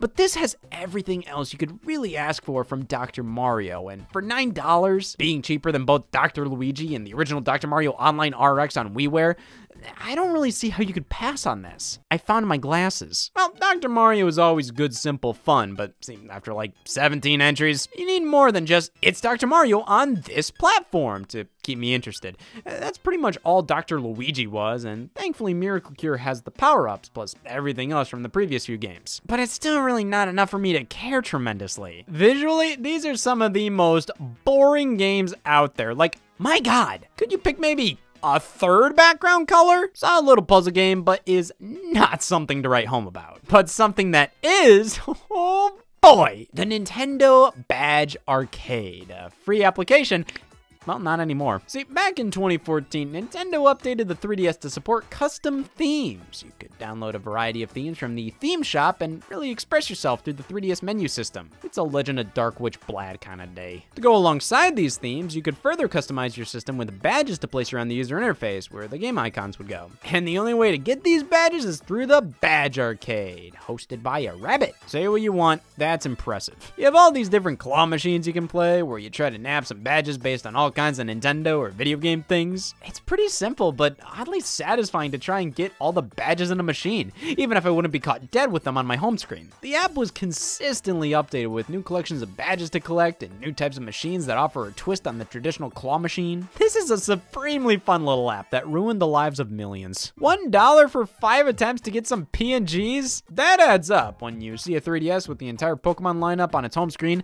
that indicates a ruined marriage. I think everything about this app was brilliant, though the pricing could have been a bit more generous, I think. This sort of app is designed to be as addictive as possible to keep feeding money into it. Uh, Sure, it's supposed to be just like normal crane games, and it succeeds at feeling like that. But it's wild to me that with how much people despise despise microtransactions and loot boxes and all of that, this app didn't get much heat at all. And looking at the cons listed in these reviews, I can see why. Third party and indie wise, this was an incredibly light year. Attack on Titan Humanity in Chains was a retail game in Japan, localized in English, but released only via the Nintendo eShop by Atlus, Thank God. Ironfall Invasion was yet another free to start game, this time as a third person shooter with single and multiplayer. Thank God, God. This one is no doubt impressive, highlighted by Nintendo in their January 2015 Nintendo Direct. Uh, they stated this game was developed by three whole people. But man, this is just the type of game you play when you genuinely have no other console other than a 3DS. Dementium Remastered, a re-release of the Nintendo DS game by Renegade Kids, similar to their other remaster, Moon Chronicles. They have such range, don't they? Terraria received a 3DS port alongside probably the biggest indie game on 3DS this year, SteamWorld Heist. A new entry in the Steam World series, this one being a turn-based tactical game. Well, with so little occurring this year on the eShop, 2016 should have Mini Mario and Friends Amiibo Challenge. It's all been building up to this. On both the Wii U and 3DS eShop, we got the same thing again! Mini Mario and Friends Amiibo Challenge. It may not be called Mario vs. Donkey Kong, but it sure smells like it. This is a free game that requires Amiibo figures to play, and unlike Amiibo Tap, it's not Amiibo Tap. Thank God. To be fair, it's hard to complain about this game considering it does give you substantial content with your amiibo figures. The unique stages for each of these characters, all specifically designed to complement their aesthetics and abilities. You get 4 special levels per character alongside the 12 stages all characters can play through. If you only have one or two of these amiibo, that's a pretty light adventure. If you own all of them, damn, why would you need any other game? It's definitely more interesting of a release than Tipping Stars, even if that is a more complete and structurally sound title. But for a free app you can download to get some quick gameplay out of your amiibo from, this ain't half bad. Now Star Fox Zero, that was full blown half bad. There is a free eShop download promoting the game. Star Fox Zero, The Battle Begins, plus training. Basically, it plays a promotional animated short for the game while also containing the training mode from Star Fox Zero. Basically, it's a demo. Now, Star Fox Guard, the game bundled with Star Fox Zero, also had a demo, but this one was called the Special Demo. These both released months after the game launched. I really let anybody on the fence about this game realize they shouldn't even be close to it. And that is pretty much it when it comes to Nintendo's first party output on the Wii U eShop. In general, that was it. Had any complaints, well, they never made a Lost Reavers like experience. Oh, well, thank God for Namco. The last major year of the Wii U's relevancy still contains some noteworthy eShop experiences by third parties, including Lost Reavers by Bandai Namco. This was originally announced in January 2015 as Project Treasure, a free-to-play multiplayer title all about surviving through enemies and traps to then find and collect treasure, eventually being renamed to Lost Reavers. It's exclusive to Wii U, that's a selling point. This is how I think things went. Nintendo asked Bandai Namco to make an exclusive Wii U title, so they decided to make something that's more tax write-off than game. Turns out this was mostly created as a test project, I guess. A game that younger developers at Namco could cut their teeth on. Damn, the Wii U was used. There's just nothing to this game. It's so generic and bland. Just a second-rate pet project Nintendo used to make it seem like the Wii U was getting legitimate third-party support. The Wii U has Lost Reavers, unlike the other guys. We also have Birdmania Party. Why did they put Birdmania out on Wii U? In 2016. Super Meat Boy hit the system, which was a lovely surprise, though they had to replace the original soundtrack due to a licensing dispute. SteamWorld Heist received a port, Oddworld New and Tasty, which was a pretty massive title to make the jump. Axiom Verge was a big deal. That was the Metroid-like game at the time, and to have it on a Nintendo system felt like a match made in heaven. Minecraft Story Mode okay, so this was all in the era of the Telltale games, all those point and click interactive drama games like The Walking Dead, Batman, Tales from the Borderlands. Uh, we didn't get any of those, but we did get Minecraft Story Mode and some more milk to help us sleep at night. Hey, Minecraft's for everybody. It does massively appeal to kids, but it's a general audience type of game. But it being the only Telltale game we got was just kind of insulting. Like, come on! The Walking Dead Telltale series was one of the biggest games of all time. It got a damn Ouya release, and you're telling me the only game you could warrant putting on Wii U was Minecraft Story Mode? Mutant Mudds Super Challenge, released across both Wii U and 3DS. It's actually a sequel to the original, but the name makes it sound more like an expansion pack. It's a tough as nails follow up, and a great continuation of the original Mutant Mudds, though I'd say it took too long to come out and didn't do enough to distinguish itself from the original. It's pretty much just harder Mutant Mudds. It does an excellent job of being that, but by 2016, I think it was too little too late. Tumblestone was an indie puzzle game Nintendo pushed hard. It was either this or Bombing Bastards. And I'd say the last major release of 2016 was Pirate Pop Plus, which was a little tribute to old school handheld gaming. Other than that, original releases on the Wii U eShop were basically relegated to releases, but the 3DS eShop, that's where Nintendo fans are spending their 2016 questioning their faith. My Nintendo Picross The Legend of Zelda Twilight Princess was another loyalty program exclusive eShop game. This one you'd get from using the Club Nintendo replacement My Nintendo. Like Hepatitis. My Nintendo is a piece of junk. Like, just look at all these digital rewards. My Nintendo theme to Donkey Kong? The only reason I'd get that is if I had something to hide. My Nintendo Picross Twilight Princess was just a smaller promotional title. The Picross games were easy to churn out for 3DS, and Twilight Princess HD for Wii U just came out, so hey, let's promote this to our most loyal fans. Yeah, the ones with the release date tattoo. It's a fine, albeit obviously budget version of Picross with Twilight Princess art in it. Now, if that's not what you're interested in, BoxBoxBoy has nearly none of those elements. The sequel to BoxBoy, you know? I always wondered what happened next. BoxBoxBoy is very much just more the same, except now you can create two sets of boxes, which uh, doesn't really feel like that warrants a sequel. What, does just adding an ability do that? What does taking one away do? If BoxBoy gets a limb cut off, is that a prequel? Again, a fine, fun little puzzle game, eh, just nothing too special. Unlike Pocket Card Jockey, developed by Game Freak, this combines horse racing and solitaire. Thank God they picked those two out of the hat. So I love the energy of this game. It's so silly and the dialogue just does not take itself seriously at all with a really dumb and fun explanation of why these two things are combined here. But they complement each other. The horse racing element makes playing solitaire more exciting and solitaire makes horse racing far deeper in video game form. These two things just go together like peanut butter and $40 million. Yeah, that's a good combo. Swapdoodle. Uh-oh. I assume this would have been the 3DS's first AO game, but nah. This is a successor to Swapnote in nearly every way. Why they waited until 2016 to do so? Maybe that year child safety was getting a little too comfortable. Swapdoodle is pretty much just Swapnote again, though this time with in-app purchases like drawing lessons and stationery and a few features removed, such as the ability to include photos you've taken, obviously for security reasons. Really strange to me how similar this is to the original app with only a couple of things altered, especially after how much the initial controversies obviously affected Nintendo's decision making with this kind of stuff. In the end, it's another form of Swapnote, but released at a time in which I can't really see many people saying they heavily got into this one. Outside of those releases, Nintendo put out a handful of heavy-duty eShop games, titles that were designed to be sold at retail and in other regions were, but here in North America, they feared what we'd do with a box. Perjury's pretty cool. The most unfortunate eShop exclusive for us has to be Rhythm Heaven Mega Mix, a game Nintendo of America assumed wouldn't do well at retail, which is ridiculous.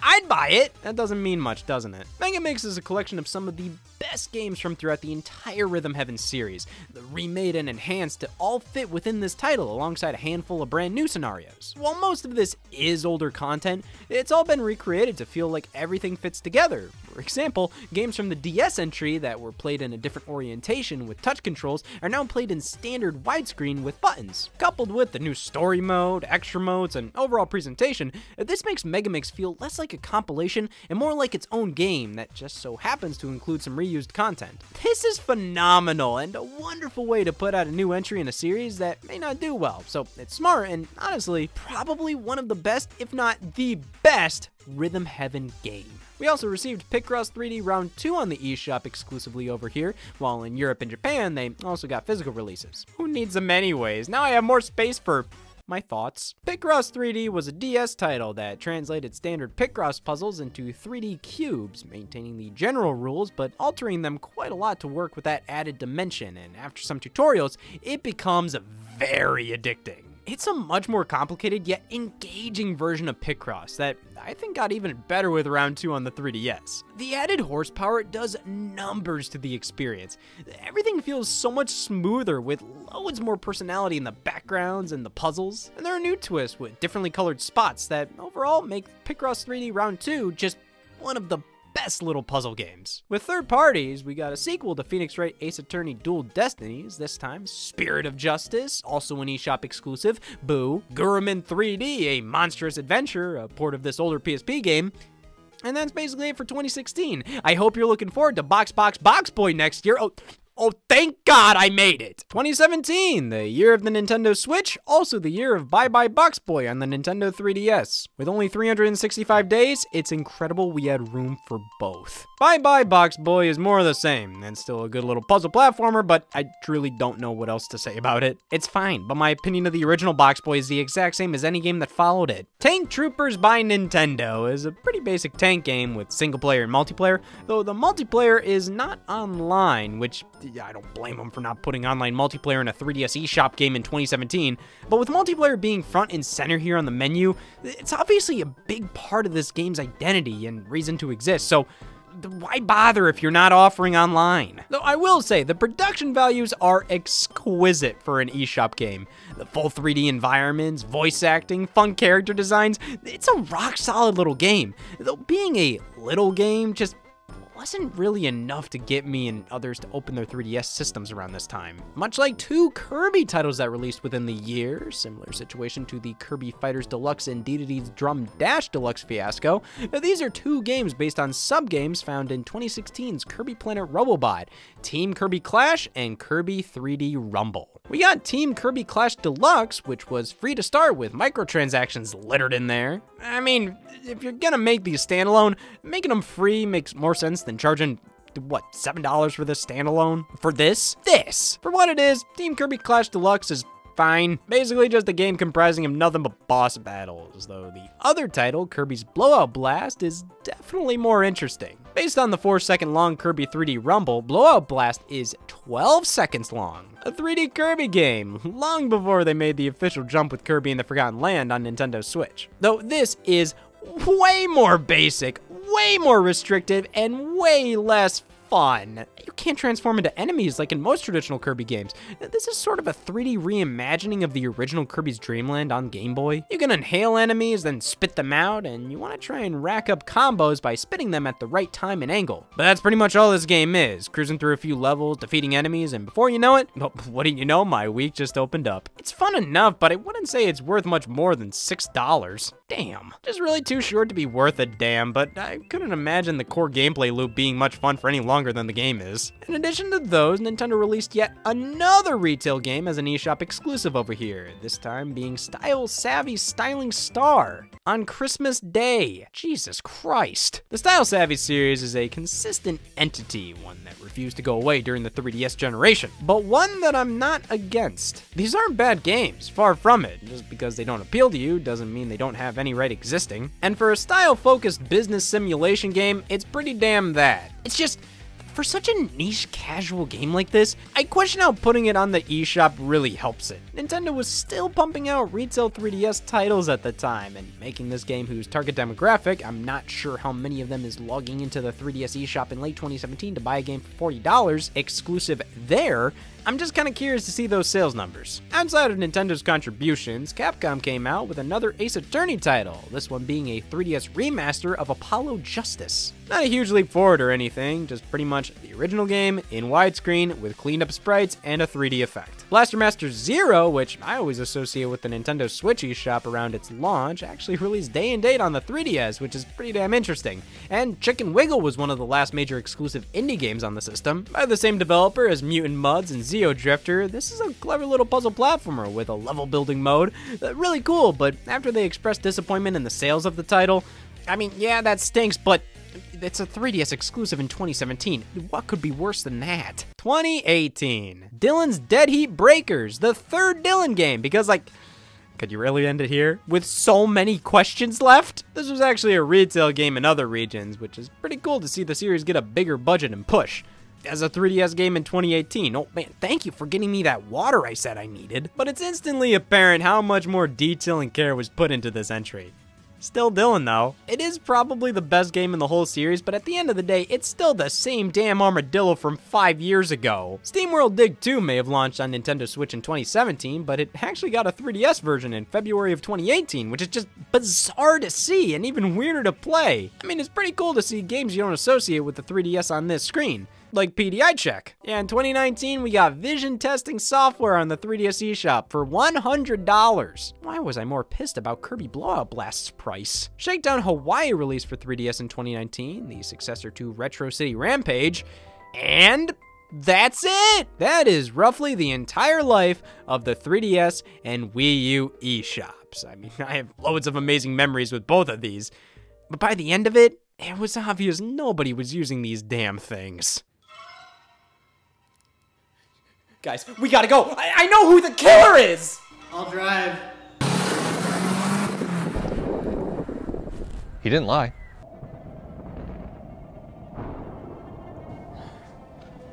This will give us a good look at the criminal. This isn't a criminal. This is grass. Just listen to me. Who would have a motive to kill the Nintendo eShop? You know, on second thought, this grass has nothing to lose. Some may think Nintendo was the one to kill the eShop, but why does the store live in the first place? What purpose does it have staying open? I don't think this was death by homicide. I think this was death by neglect. Nintendo wasn't the eShop killer. It was us.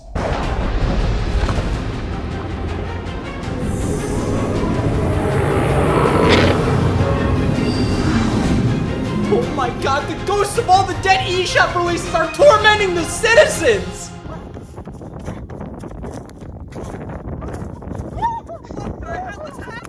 What the f? What the f? Why are there ghosts every fucking where? What did you do? Dude! Everywhere fucking ghosts?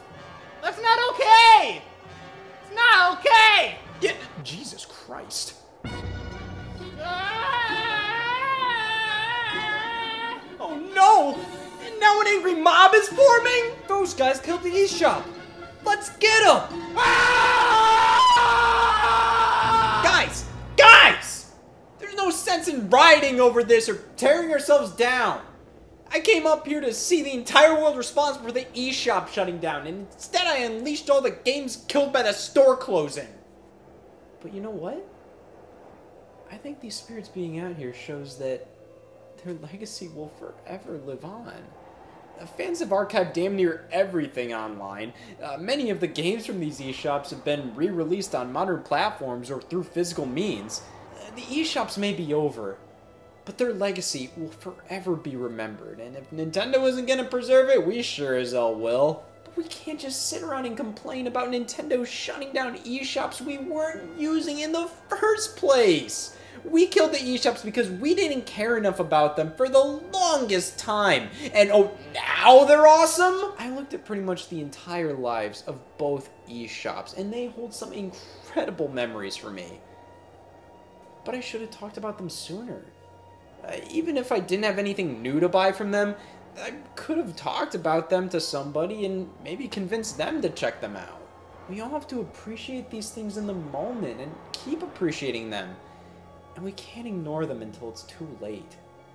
I've said pretty much everything I can about the 3DS and Wii U eShops. I oddly don't feel at peace. Cause I'm gonna have to talk about this again!